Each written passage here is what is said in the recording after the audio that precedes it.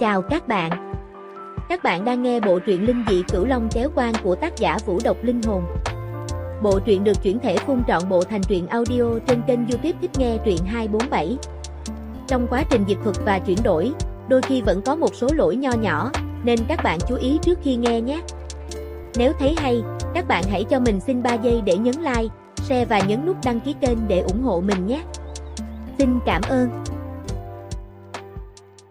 Chương 1001, mệnh cách tinh khiết một Bia chấn thi vỡ vụn thành cám, thất cứu của bất hủ thi vương chảy máu ròng rọc, đầu gối run rẩy quỳ dạp thần phục trên mặt đất, vương miệng trên đầu cũng rơi xuống đất. Nhìn dáng vẻ thảm hại của kẻ thù cũng ngày xưa, bốn vị cốt lâu vương đều hướng ánh mắt cảm kích về phía oán linh nữ vương.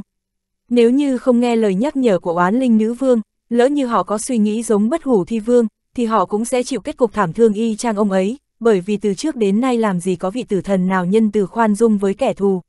Nhưng mà cuối cùng cô ấy vẫn tha chết cho bất hủ thi vương, bởi vì hàng ngàn hàng vạn thi tộc vẫn còn cần người khác chăm nom.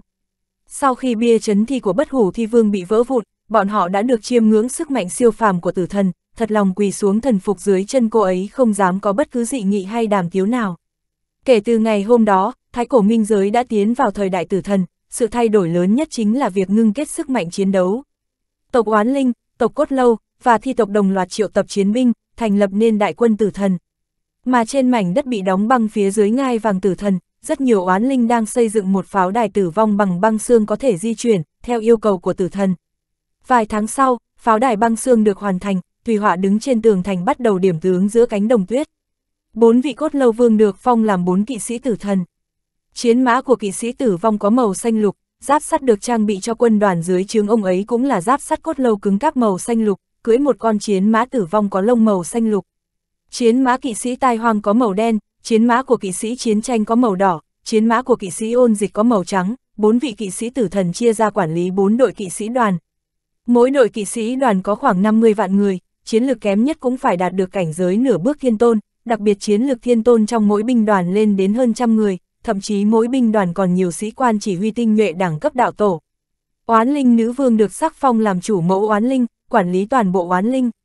Sức mạnh chiến đấu của oán linh gồm hai loại, một loại là công kích thần hồn thuần túy, loại sức mạnh này hầu như không có đất dụng võ ở thái cổ minh giới, bởi vì sinh vật tử linh ở chỗ này đều là vong hồn, và thần hồn có sức phòng thủ khá mạnh. Nhưng mà, đại quân tử thần do Thùy hỏa thành lập, thì tất nhiên kẻ thù không phải tử linh của thái cổ minh giới. Một loại khác là sức mạnh xương giá chết chóc, có thể bắn được mũi tên hàn băng. Vì thế nên, tộc oán linh được phân chia thành hai cánh quân, một bên gọi là xạ thủ hàn băng, tấn công chủ yếu bằng mũi tên hàn băng.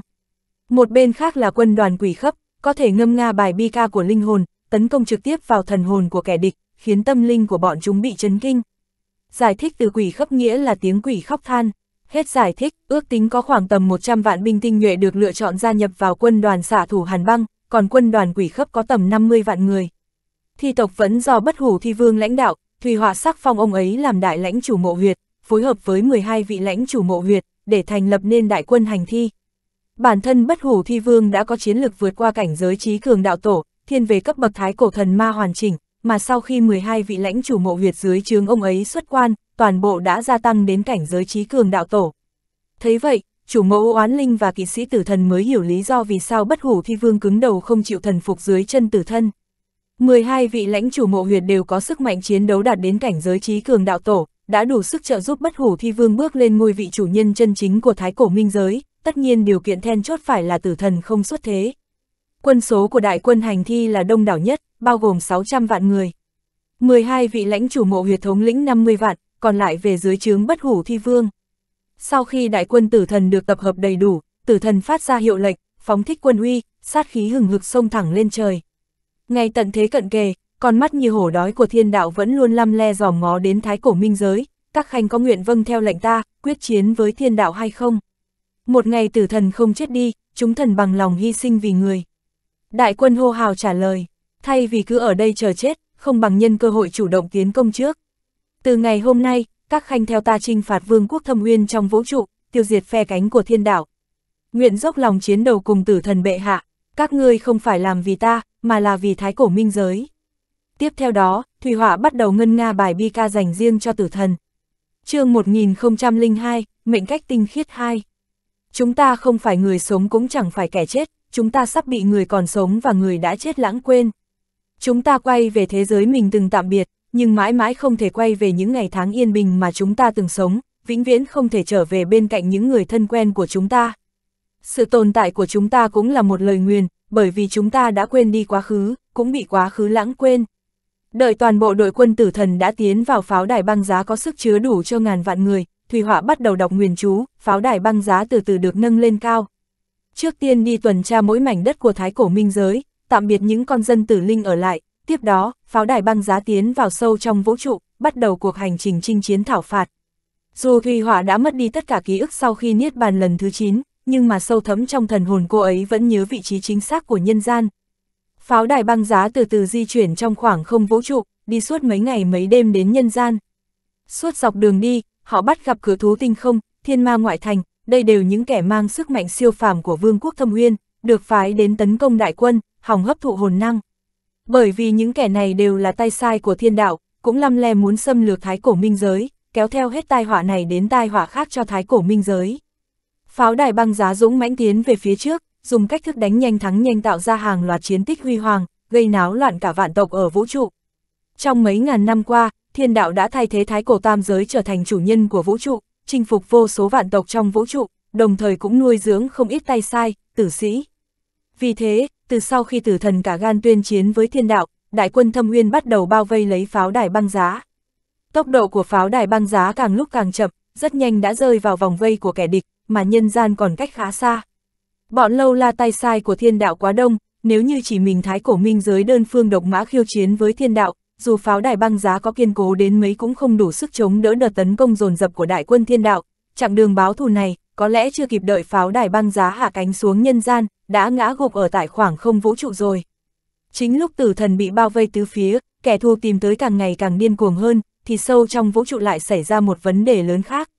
Thái cổ ma giới, núi Thánh Ma ở vùng đất phía Bắc. Đã lan truyền tin tức, chủ nhân ma đế thương ma bắt đầu triệu tập tất cả thủ lĩnh ma tộc mở cuộc họp bàn bạc kế sách.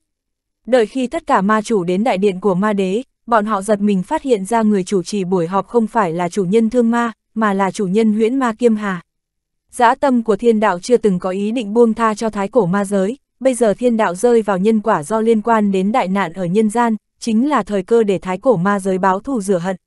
Nếu không đợi đến ngày thiên đạo thoát khỏi xiềng xích nhân quả, chính là thời khắc diệt vong của thái cổ ma giới. Kiêm Hà dõng giặc nói, chủ nhân huyễn ma đã có kế hoạch gì sao?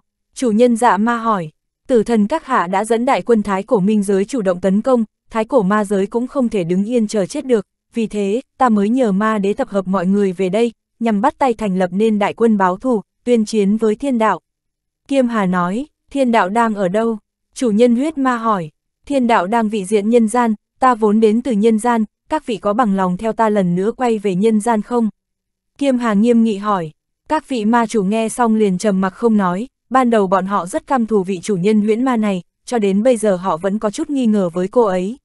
Điều này khác xa với thái cổ minh giới, thái cổ minh giới là minh giới của một mình tử thần, chúng thần đều quỳ phục dưới chân tử thần. Mà nguyên nhân khiến ma tộc bị thiên đạo lựa chọn làm mục tiêu trinh phạt đầu tiên, chính bởi vì nơi đây đã chìm sâu trong loạn lạc phân tranh, chia năm xẻ bảy, ma đế chỉ còn trên danh nghĩa. Chính lúc các vị ma chủ vẫn còn do dự không đưa ra quyết định, chủ nhân thương ma, cũng chính là ma đế đương nhiệm của thái cổ ma giới, đã đứng lên đáp lại lời kêu gọi của Kiêm Hà. Ông ấy tháo chiếc phương miện của ma đế xuống, đặt lên ngai vàng ở phía sau. Tiếp đó, ông ấy rời khỏi thần điện, đứng ở quảng trường bên ngoài, đứng từ xa nói với Kiêm Hà, tộc thương ma, bằng lòng theo chủ nhân huyễn ma tuyên chiến với thiên đạo. Trước mắt thì ma tộc mạnh nhất ở thái cổ ma giới chính là thương ma, nhìn thấy chủ nhân thương ma đồng ý tháo chiếc phương miệng ma đế xuống, hưởng ứng lời kêu gọi của chủ nhân huyễn ma, những ma tộc vừa và nhỏ vốn đi theo huyễn ma và thương ma đồng loạt hô to hưởng ứng, bằng lòng cùng sống cùng chết với Kiêm Hà. Mối nguy hiểm tiềm tàng như thiên đạo vẫn luôn tồn tại, chỉ là ma chủ không cảm nhận thấy nó mà thôi. Bọn họ vốn dĩ cũng có suy nghĩ giống bất hủ thi vương, cho rằng thiên đạo sớm đã quên mất thái cổ ma giới, sẽ không còn dẫn quân đến xâm lược nữa. Tuy rằng số người hưởng ứng theo Kiêm Hà khá đông, nhưng đa số ma chủ vẫn còn đang do dự. Thấy thế, Kiêm Hà bèn thở dài thường thường nói, buổi hội nghị hôm nay kết thúc ở đây, các vị hãy quay về nghỉ ngơi trước đi. Nói xong, các vị ma chủ đều đi theo Kiêm Hà rời khỏi đại điện ma đế. Đợi khi các vị ma chủ đã rời khỏi núi Thánh Ma, Kiêm Hà liền bảo chủ nhân thương ma giải tán đám người ở trong đại điện ma đế. Sau đó cô ấy triệu hồi 13 huyễn cảnh kính tượng của mình, bắt đầu xoay vòng xung quanh núi Thánh Ma Bắc Địa, vừa di chuyển vừa đọc chú ngữ bí ẩn. Mà bồn tôn cô ấy, lại bay đến đỉnh núi Thánh Ma. Tiếp đó tốc độ xoay vòng của huyễn ảnh kính tượng càng lúc càng nhanh, cả toàn núi Thánh Ma rung chuyển dữ dội, bắt đầu lún xuống. Mặt đất rung chuyển, từ núi Thánh Ma dần dần lan ra khắp tứ phía. Đợi đến khi các vị ma chủ nhận thấy có điều gì đó bất thường, vội vàng quay về núi Thánh Ma, thì bọn họ giật mình phát hiện, ngọn núi Thánh Ma liêng thiêng hùng vĩ nhất của thái cổ ma giới, đến cả thiên đạo không thể phá hủy, đã hoàn toàn biến mất trên bản đồ. Núi Thánh Ma, là vùng đất tín ngưỡng của vạn ma. Cũng là, cội nguồn ma ý của vạn ma. Không ai ngờ rằng sẽ có một ngày núi Thánh Ma sẽ biến mất, mà thứ biến mất cùng núi Thánh Ma chính là ma ý nồng đậm của thái cổ ma giới. Nếu như các ông cứ mãi trần trừ không chịu đưa ra quyết định, thì ta chỉ còn cách khiến các ông không còn đường lui rồi. Một ngày thiên đạo không chết, núi Thánh Ma sẽ không thể tái xuất trên thế gian nữa. Kiêm Hà nói, cô đã phong ấn núi Thánh Ma sao? Chủ nhân huyết ma tay chân bùn rùn ấp úng hỏi. Không sai, Kiêm Hà nói, tại sao cô lại làm được chuyện đáng sợ như thế này? Chiến hữu của Kiêm Hà, chủ nhân thương ma cũng sướng sở ngay tại chỗ không thể tin vào mắt mình. Bởi vì ta đã ngưng tụ ra ma cách tinh khiết nhất. Truyền thuyết kể ra, ma cách tinh khiết nhất có thể trấn áp được vạn ma. Mà người sở hữu ma cách thuần khiết, có thể phong ấn núi thánh ma, chặt đứt cội nguồn ma ý của thái cổ ma giới. chương 1003, tỉ muội gặp nhau một. Kiêm Hà vừa giơ tay đã phong ấn núi thánh ma, ma ý nồng đậm của thái cổ ma giới từ từ chìm sâu xuống dưới lòng đất. Sự phát triển của ma tộc không thể tách rời khỏi ma ý, nếu như núi thánh ma không xuất thế, ma tộc sẽ không còn tương lai, thậm chí đến việc duy trì tình trạng hiện tại cũng không làm được. Không ai có thể lường trước việc chủ nhân huyễn ma sẽ dở thủ đoạn độc ác như vậy, càng khiến họ không ngờ, chủ nhân huyễn ma đã ngưng tụ được ma cách tinh khiết. Ma cách tinh khiết chỉ mới được nhắc đến trong truyền thuyết, tuy rằng là ma cách, nhưng có sức mạnh khống chế vạn ma. Thủ đoạn của huyễn ma thay đổi khôn lường, 13 huyễn ảnh kính tượng giống như 13 cái mạng khác nhau, vốn dĩ sức mạnh chiến đấu của Kiêm Hà đã vô địch thiên hạ ở Thái Cổ Minh Giới, bây giờ lại thêm ngưng tụ ra ma cách tinh khiết mới, thì cô ấy đã là người có tài năng thiên bẩm bất khả chiến bại ở đây rồi. Dưới tình huống này, ma chủ của Thái Cổ ma giới chỉ có thể chọn cách thỏa hiệp mà thôi.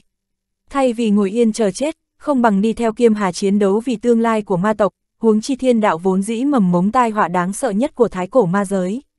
Kiêm Hà đã hứa, ngay khi thiên đạo bị tiêu diệt, cô ấy không chỉ giải trừ phong ấn cho núi Thánh Ma, còn sẽ mãi mãi rời khỏi Thái Cổ ma giới, không tiếp tục xen vào chuyện của Thái Cổ ma giới nữa. Vài tháng sau, Thái Cổ ma giới đã đóng được 12 chiếc thuyền chiến ma tộc, đại diện cho 12 ma tộc hùng mạnh nhất. Ngoài nhân số của tộc huyễn ma khá ít ỏi, thì những ma tộc khác đều có đến hơn trăm vạn chiến sĩ tinh nhuệ. Theo ước tính đại quân ma tộc có khoảng hơn 1.500 vạn người, họ sẽ theo Kiêm Hà đánh thẳng vào vũ trụ hư vô, tham gia cuộc chiến báo thù thiên đạo. Trước khi khởi hành, Kiêm Hà và Thánh nữ huyễn ma hiểu lộ hẹn gặp nhau trong mật thất. Đem năng lượng do ma cách tinh khiết tạo ra để hóa giải phong ấn núi huyễn ma truyền lại cho Thánh nữ huyễn ma. Hiểu lộ, lần này tôi viễn trinh rồi sẽ không quay lại nữa đâu. Sau này chuyện phá giải phong ấn núi Thánh Ma, và tương lai của huyễn ma chỉ đành giao lại hết cho cô rồi. Kiêm Hà nói, ma chủ, nơi này mới là quốc gia của người, tại sao người lại muốn rời bỏ chúng tôi? Thánh nữ hỏi, tôi từng hứa với một người, sẽ cố gắng ngưng tụ ma cách tinh khiết vì anh ấy. Tôi tưởng mình đã thất bại rồi, sẽ vĩnh viễn xa lầy vào ma đạo, không thể tiếp tục làm đạo lữ của anh ấy nữa. Sau đó tôi mới biết mình không hề thất bại, là vận mệnh cố tình đưa tôi đến chỗ này, chỉ khi nào đến thái cổ ma giới mới giúp tôi hoàn thành sứ mệnh của riêng mình. Ma chủ, sứ mệnh của cô là gì? Đại diện cho thái cổ ma giới, khiêu chiến với thiên đạo. Người mà cô vừa nhắc tới, người đó đang ở nhân gian sao? Đúng vậy, muốn chiến thắng thiên đạo, nếu chỉ dựa vào mỗi sức của một mình thái cổ ma giới chúng ta quả thật là điều không thể, cho dù toàn bộ thái cổ tam giới cùng nhau hợp lực cũng không phải là đối thủ của thiên đạo, nhân gian mới là chiến trường chính của cuộc chiến chống lại thiên đạo, tôi sẽ gặp lại anh ấy trên chiến trường, cùng nắm tay nhau đối kháng với thiên đạo. Dù sống hay chết thành hay bại, tôi cũng sẽ không quay về nữa. Sau khi đã hoàn tất việc giao phó, Kiêm Hà dẫn quân rời đi.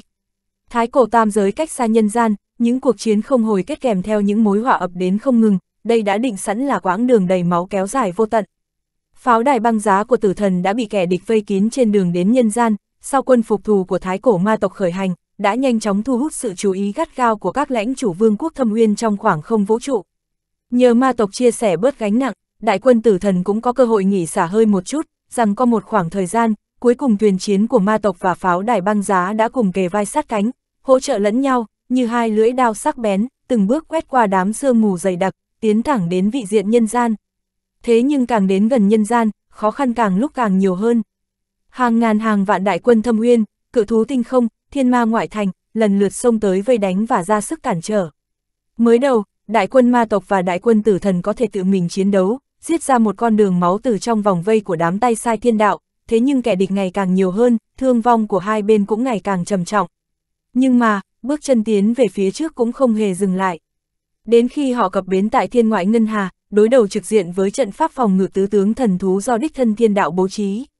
Thanh Long, Bạch Hổ, Chu Tước, Huyền Vũ, tứ tướng thần thú, có thể được xem là hệ thống tu hành hoàn chỉnh nhất không ai có thể vượt qua của cả đạo môn, là cội nguồn linh cảm của tất cả thuật pháp thần thông. Nếu như nói, thiên hạ vạn vật đều có ngũ hành, vậy thì thiên hạ vạn pháp có thể đều do áo nghĩa của tứ linh thần thú sinh ra. Thanh Long chủ sinh, Bạch Hổ chủ sát, Chu Tước chủ động, Huyễn Vũ chủ tính. chương 1004, tỉ muội gặp nhau 2. Bốn cái pháp trận này, mỗi cái đều có sức mạnh vượt xa 100 bổn tôn lãnh chủ hư không, mà điều quan trọng nhất là, pháp trận này biến hóa khôn lường, không thể tìm ra một sơ hở nào hết. Với lại, nếu như ai dám mạo hiểm xông vào, sẽ bị sức mạnh của tứ tướng truy sát. Vì vậy, 12 thuyền chiến của ma tộc và pháo đài băng giá của tử thần buộc phải dừng chân tại đây, mặc kệ đó có là kiêm hà hay thủy họa đều không đủ sức phá trận pháp này. Không những không biết cách phá trận, cứ cách một khoảng thời gian họ còn phải hứng chịu đòn công kích hủy diệt hỗn hợp do kính tượng của tứ tướng thần thú mà pháp trận triệu hồi ra. Đòn tấn công của tứ tướng thần thú sánh ngang với cấp bậc thái cổ thần giới, cho dù tử thần tự mình ra tay cũng chỉ khuất phục được một con, tuyệt đối không thể ngăn cản nổi đòn đánh của tứ tướng. Mà tổn thất của phía ma tộc càng nặng nề hơn, bởi vì, sức mạnh chiến đấu của Kiêm Hà thua xa Thủy Họa, toàn bộ 13 ma ảnh cùng xuất kích cũng chỉ có thể ngăn cản được một con thần thú. Điều quan trọng nhất là, kính tượng thần thú do Pháp trận triệu hồi ra, hoàn toàn không có cách nào tiêu diệt bọn chúng. Cho dù có cố sức giết chết hết, thì chỉ thoáng chốc, Pháp trận phòng ngự tứ tướng thần thú sẽ sản sinh ra những kính tượng tứ tướng thần thú mới. Trừ phi thổi bay cái Pháp trận phòng ngự tứ tướng này, mới có thể giải quyết sạch mọi chuyện được. Sau khi tứ tướng thần thú tung ra mấy đòn dò xét thực lực đối phương, nắm rõ sức mạnh của đại quân ma tộc và đại quân tử thần, mới bắt đầu chủ động tấn công hai đại quân. Lúc chịu đứng những đợt công kích khốc liệt của thần thú, thuyền chiến của chủ nhân huyết ma đã bị phá hủy, Kiêm Hà buộc phải ra lệnh tạm thời rút lui, cách xa khỏi Ngân Hà. Tiếp đó, tứ tướng thần thú bắt đầu tấn công pháo đài băng giá. Cho dù pháo đài băng giá của Thủy Hỏa có cứng cáp đến mấy, thì sau khi kiên trì đến trận thứ 8, cũng buộc phải rút lui. Lúc này đây, Kiêm Hà và Thủy Họa đều hiểu rõ, nếu chỉ dựa vào quân lực của hai giới, cho dù liên thủ cũng không đủ sức chọc thủng phòng tuyến Ngân Hà, phá hủy trận pháp thủ hộ tứ tướng. Ngày đó, Kiêm Hà một mình đến bên ngoài pháo đài băng giá, xin bái kiến tử thần. Trong lịch sử của Thái Cổ Tam Giới, ma giới và minh giới đã từng nhiều lần giao tranh, nhưng mà, hôm nay ma giới và ma giới vì có chung kẻ địch là thiên đạo, tuy không có lập ra khế ước, nhưng trên thực tế đã sớm kết thành một liên minh chiến đấu rồi. Vũ trụ bao la vô tận, nếu như không nhờ ma giới và minh giới chung tay giúp đỡ lẫn nhau, thì cũng tuyệt đối không thể nào có chuyện một đường thuận lợi đến trước trận ngân hà. Bệ hạ, chủ nhân huyễn ma xin cầu kiến ạ, chủ mẫu oán linh đến trên ngai vàng băng giá của tử thần thông báo. Để cô ấy vào đi, Thùy Họa hờ hững nói, mái tóc mềm mại vẫn rũ xuống, khiến nhìn cô ấy như không có chút sức sống nào. Cuộc chiến sau cùng với tứ tướng thần thú, Thùy Họa vì cứu lãnh chủ kỵ sĩ tử vong, bị kính tượng bạch hổ thần thú đánh lén sau lưng, sau đó mặc dù đã được hồi phục sức lực nhờ hồn năng dự trữ, nhưng hậu quả của đòn công kích kia vẫn còn đó. Trong tứ tướng thần thú, bạch hổ chủ sát, sát tính sớm thấm vào xương tủy. Tuy rằng kẻ ra tay không phải bổn tôn bạch hổ, chỉ là một kính tượng nhỏ nhoi, nhưng kính tượng này sở hữu 7 phần chiến lực của bạch hổ. Bổn tôn của tứ tướng thần thú không thể xuất chiến vào lúc này, bọn nó luân hồi theo đại kiếp nhân quả của thiên đạo, là hộ vệ bên cạnh thiên đạo. Chỉ khi đứng trước bổn tôn thiên đạo, mới có thể chính thức gặp mặt với bọn chúng. Ngai vàng tử thần của Thủy Họa nằm trên đỉnh đầu của pháo đài băng giá, không phải ở bên trong, mà nằm bên ngoài quảng trường băng giá. Trên quảng trường không một bóng người, chỉ có những bông tuyết lạnh giá không ngừng rơi. Bông tuyết này cũng không phải bông tuyết thật sự, là do Thủy Họa dùng thần niệm diễn hóa ra, nhưng lại lạnh lẽo hơn bông tuyết thật. Kiêm Hà đi từ tầng dưới cùng pháo đài để vào bên trong, ngồi lên pháp trận dịch chuyển băng giá, để đến thẳng phía trên quảng trường. Vừa nhìn thấy Thủy Họa đang mặc bộ thiết giáp tử thần nặng nề, ngồi trên ngai vàng băng giá, toàn thân Kiêm Hà khó tránh khỏi có chút run rẩy. Kiêm Hà khác với Thủy Họa, Kiêm Hà nhớ hết toàn bộ ký ức lúc trước.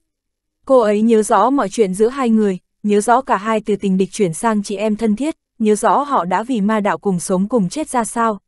Mỗi một trận chiến của ma đạo, đều vô cùng tàn khốc. Bất kể có là Kiêm Hà, hay một đệ tử ma đạo nào đó, Thủy Họa vẫn luôn là người đứng ở phía trước, thay họ chống đỡ những đòn tấn công ác liệt, mang lại niềm tin chiến đấu cho họ. Lúc Thùy Họa ngủ say sau khi niết bàn lần thứ bảy ở trận chiến núi Hạ Lan, Kiêm Hà từng có ý định thay thế vị trí tướng phá quân của cô ấy. Sau đó, vì ngưng tụ ma cách tinh khiết thất bại phải quay về thái cổ ma giới. Trong những trận chiến ở ma giới, tài quân sự của Kiêm Hà đều do Khương Tuyết Dương đích thân truyền dạy, phong cách chiến đấu ác liệt đẫm máu đều nhờ sự ảnh hưởng của Thùy Họa.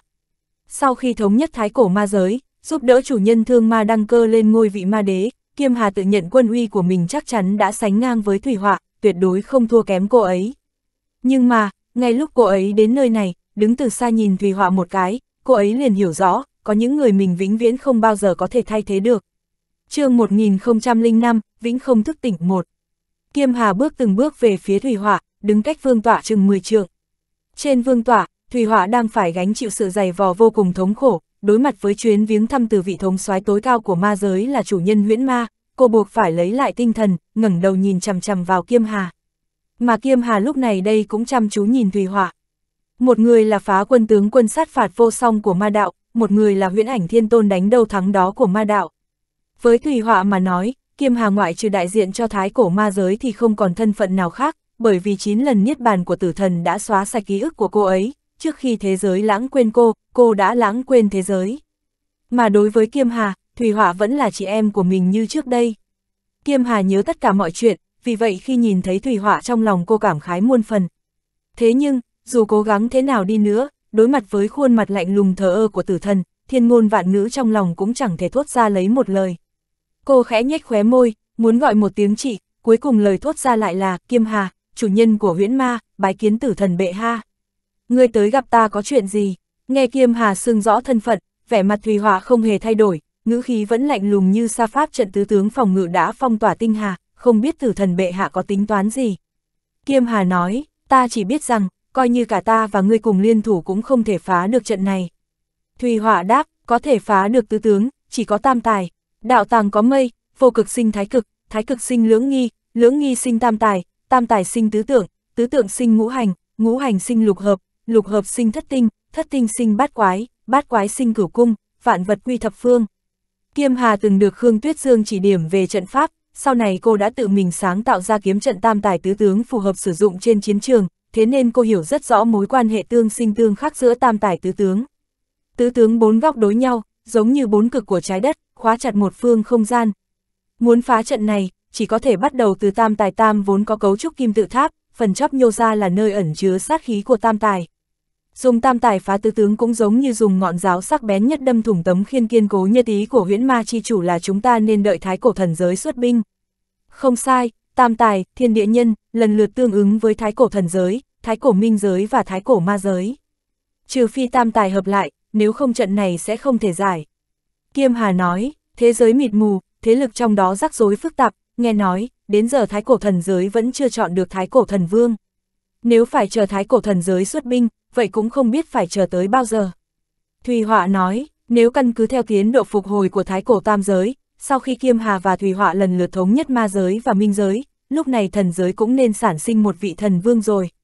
Sở dĩ chưa thể đưa ra kết luận là bởi thần giới xuất hiện loạn tượng, thần minh đủ hình đủ kiểu rắc rối phức tạp, rất khó đạt được sự thống nhất.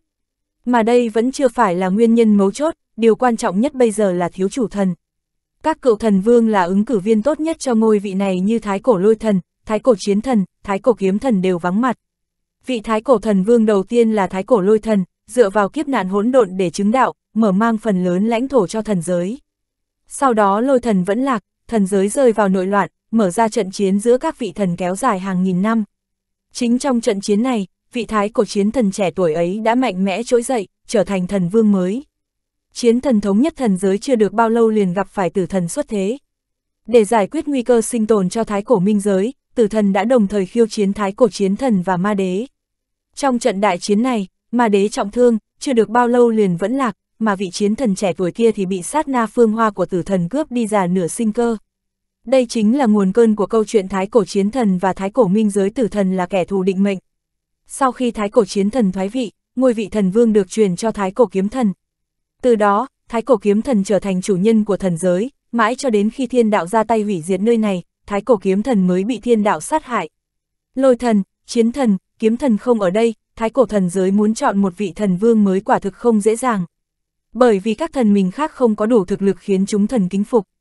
Về phần tại sao các vị chủ thần cường đại này lại không xuất hiện tại thần giới, bản thân thần giới cũng không tìm được đáp án, Thủy Họa vì mất đi ký ức nên cũng không thể đoán ra, nhưng Kiêm Hà thì biết rõ lý do.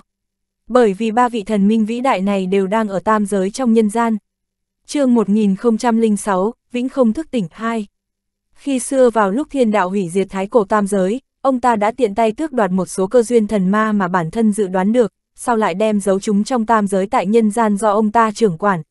Đây cũng là lý do tại sao Thủy Họa lại có thể ngưng tụ thần cách của Thái Cổ Minh Giới và Lữ Thuần Dương có thể chiếm được thần cách của Thái Cổ Kiếm Thần tại nhân gian, bao gồm cả mộ dung nguyên duệ sau này. Cơ duyên thần ma không thể hủy diệt, thiên đạo chỉ có thể tạm thời giấu đi, không thể ngăn cản họ phục sinh. Sau khi ông ta bị kéo vào kiếp nạn nhân quả, những cơ duyên này cũng thi nhau xuất hiện, lần lượt tìm được trốn về của mình. Người đầu tiên thoát khỏi bàn tay thiên đạo là Kiêm Hà, Kiêm Hà đoạt được ma tâm, mở ra thông đạo dẫn tới thái cổ ma giới. Tiếp đó là Thùy Họa, bởi vì cửu u nữ đế, trong trận quỷ môn quan cô đã bị đánh nhập cảnh giới niết bàn, quay lại thái cổ minh giới. Ma giới và minh giới đã có định số, thế nhưng thần giới vẫn trong trạng thái hỗn loạn như cũ. Nguyên nhân là do cả ba vị chủ thần cường đại này của thái cổ thần giới đều có quan hệ nhân quả vô cùng sâu sắc với nhân gian tam giới, thật không dễ dàng rời đi. Mộ dung nguyên duệ là tiên đạo tổ sư, cô sẽ không dễ dàng từ bỏ tiên đạo, Lữ Thuần Dương là nhân đạo tổ sư tương lai, cũng không dễ dàng thoát thân. Thái cổ lôi thần đổ mẫu nguyên quân là đại biểu cho sức mạnh của nhân đạo tại thiên đình, là vị thống soái không thể thiếu của nhân đạo, nếu như bà ta quay lại thái cổ thần giới cũng đồng nghĩa với việc nhân đạo quá nửa cầm chắc bại trận trong cuộc chiến phong thần. Khi cuộc chiến phong thần còn chưa phân rõ thắng bại, ba vị chủ thần này người nào cũng không dễ dàng quay lại thần giới. Ba vị chủ thần không trở lại, thần giới muốn chọn một vị thần vương có thể khiến chúng thần quy phục quả không dễ dàng. Cuộc chiến phong thần trên nhân gian còn chưa kết thúc, thần giới sẽ không thống nhất, thần vương mới cũng sẽ không xuất hiện. Kiêm Hà nói, cuộc chiến phong thần là thế nào? Thùy Họa hỏi, thấy Thùy Họa thật sự đã quên hết tất cả mọi thứ về nhân gian, ngay cả cuộc chiến phong thần cũng không biết, trong lòng Kiêm Hà khẽ thở dài một tiếng. Sau đó liền giải thích cụ thể cho Thùy Họa về sự hỗn loạn của tam giới trong nhân gian và nguồn gốc của cuộc chiến phong thần. Khi nói tới ma đạo, Kiêm Hà cố ý nhìn chằm chằm vào Thùy Họa, đáng tiếc là, Thùy Họa giống như lần đầu tiên nghe thấy ma đạo, chẳng hề có chút phản ứng nào cả. Nói như vậy, sở dĩ thiên đạo chủ trừ chưa ra tay với chúng ta là bởi vì ông ta bị ràng buộc bởi kiếp nạn nhân quả trong tam giới. Thùy Họa hỏi, không sai, Kiêm Hà đáp, nếu như nhất định phải đợi cuộc chiến phong thần kết thúc thì thần vương mới xuất hiện, như thế thiên đạo chẳng phải cũng đã thoát khỏi nhân quả của bản thân rồi sao? Đúng là như vậy, vì thế chúng ta không thể cứ tiếp tục đợi mãi. Một khi thiên đạo đã thoát khỏi xiềng xích nhân quả, cho dù thái cổ tam giới có liên thủ cũng sẽ chỉ lặp lại bi kịch trước kia mà thôi. Ngươi tính làm như thế nào? Thùy Họa hỏi, ta chuẩn bị tới nhân gian một chuyến, nghĩ cách làm sao trước khi cuộc chiến phong thần kết thúc có thể thuyết phục ba vị chủ thần trước đây quay lại thái cổ thần giới, lập nên đội quân báo thù của thần giới. Ngươi đã từng tới nhân gian rồi. Thùy Họa hỏi, ta vốn từ nhân gian mà tới, mà ngài cũng giống ta. Ngươi nói ta cũng từ nhân gian mà tới. Thùy Họa rơi vào trầm tư, đáng tiếc cô có làm thế nào cũng không thể nhớ nổi.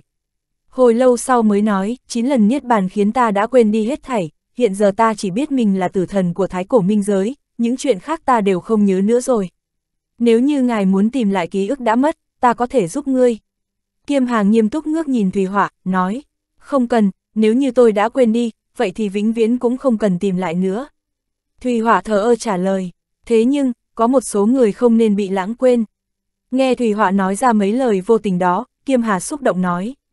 Không kẻ nào đáng để tử thần khắc ghi suốt đời. Tất cả những thứ tồn tại đều là huyễn ảnh, tất cả những gì vĩnh cửu rồi cũng bị hủy diệt. Thế gian vạn vật rực rỡ muôn màu chẳng qua cũng chỉ lừa dối lòng người mà thôi. Lúc cô nói câu này, hoa tuyết ngoài trời rơi xuống vô cùng lạnh lẽo. Băng tuyết không chỉ bao phủ cơ thể của cô, mà còn che cả trái tim cô. Nghe những lời này, trong mắt Kiêm Hà lấp lánh ánh nước, nhưng cuối cùng cũng không khuyên nhủ thêm nữa. Có một số người, nếu đã mất đi rồi, sẽ vĩnh viễn không quay lại. sau khi ta đi, phiền tử thần bệ hạ chăm sóc đại quân ma giới của ta, tránh tay chân thiên ta đồng ý với ngươi. Thùy Hỏa đáp, chương 1007, Nhân tiên quyết đấu 1. Vực sâu vũ trụ hư không, mọi chuyện xảy ra bên ngoài tinh hà đều bị thiên đạo che giấu, không cách nào suy đoán được. Trong khi thái cổ ma giới, thái cổ minh giới đang điên cuồng sát phạt tại vũ trụ hư không, nguy cơ của ma đạo một lần nữa lại xuất hiện. Sở dĩ năm xưa ma đạo tổ sư vướng vào cấm kỵ của thiên đạo, ngoại trừ việc giáo ý chúng sinh bình đẳng của ma đạo đã gộp cả thiên đạo vào trong chúng sinh, ngoài ngỗ nghịch với thiên đạo, còn là do ma đạo tổ sư tính toán muốn hợp nhất tam kiếm. Trước khi ma đạo tổ sư thật sự hoàn thành việc hợp nhất đã bị thiên đạo đẩy vào tuyệt cảnh, hiện giờ tôi đã thành công hợp nhất tam kiếm, thiên đạo đương nhiên coi tôi như một cái đinh trong mắt, như gai trong thịt. Huống hồ tôi còn mang mệnh cách thất sát, thất sát, tên tặc khiến cho thế giới hỗn loạn. Nếu không phải tôi đã thoát khỏi bàn cờ, thiện đạo cũng không đến nỗi vướng nhiều nhân quả như vậy. Nếu như nói khôn xuất thế khiến thiên đạo lần đầu nếm trải nghiệp báo của nhân quả quấn thân, vậy thì sự tồn tại của tôi đã trực tiếp khiến cho thiên đạo thể nghiệm sâu sắc sự tồn tại của sức mạnh vận mệnh. Lúc tôi chém vỡ tử tinh tại vực sâu vũ trụ hư không, thiên đạo đã tính toán muốn hạ tử thủ, là sức mạnh vận mệnh đã ngăn cản ông ta. Trước khi xiềng xích vận mệnh bị phá bỏ, thiên đạo sẽ không trực tiếp ra tay với tôi, nếu không sẽ bị sức mạnh vận mệnh cắn trả. Sau khi hợp nhất thái cổ tam kiếm, tôi không chỉ chọc giận thiên đạo, còn có cả tam giới. Xưa kia bao nhiêu kẻ tình nguyện tiếp tay cho thiên đạo sắp đặt hãm hại ma đạo tổ sư là bởi vì tu vi của ma đạo tổ sư quá mức nghịch thiên, nếu ông ta không chết, tam giới khó ăn, hôm nay cũng như thế. Huống hồ lần này là trời giáng sát ý, chúng sinh tam giới thời khắc này đều có thể cảm nhận được cơn thịnh nộ của thiên đạo. Lữ Thuần Dương có tâm muốn đàm phán với mộ dung nguyên duệ, đề nghị hai đạo tạm thời đình chiến, liên thủ gây áp lực cho Đông Hải. Cuối cùng lại bị mộ dung nguyên duệ dứt khoát từ chối, không những vậy chính trong ngày ấy còn lệnh cho Đắc Kiều công chúa dốc toàn lực tấn công 36 tòa lôi thành của Tây Thiên lôi vực. Côn Lôn, tại quân chướng thống soái đại quân nhân đạo là Lữ Thuần Dương. Trời giáng sát ý là muốn tập hợp sức mạnh của tam giới để tiêu diệt ma đạo tổ sư Tạ Lan, thật không ngờ mộ dung nguyên duệ lại dám dốc sức động thủ với chúng ta vào giây phút quan trọng này. Lữ Thuần Dương oán hận nói, mộ dung nguyên duệ và Tạ Lan từng có giao hảo với nhau, chỉ e có lòng muốn giải tỏa một phần nguy cơ cho ma đạo. Tạ Lưu Vân suy nghĩ một lúc, nói, nhưng cô ta làm như vậy không sợ phạm vào kiêng kỵ của thiên đạo hay sao? Trương Đạo Lăng nói, thiên đạo vốn đã tính toán kết thúc bàn cờ, trong ba đạo chỉ giữ lại một đạo. Lúc này mộ dung nguyên duệ lựa chọn ra tay với nhân đạo, thiên đạo cho dù có bất mãn cũng không có lý do để ngăn cản cô ta. Tạ Lưu Vân nói, ha ha, cho dù cô ta có chỉ hoãn được nhân đạo tuyên chiến với ma đạo cũng không thể ngăn nổi số mệnh diệt phong của chúng.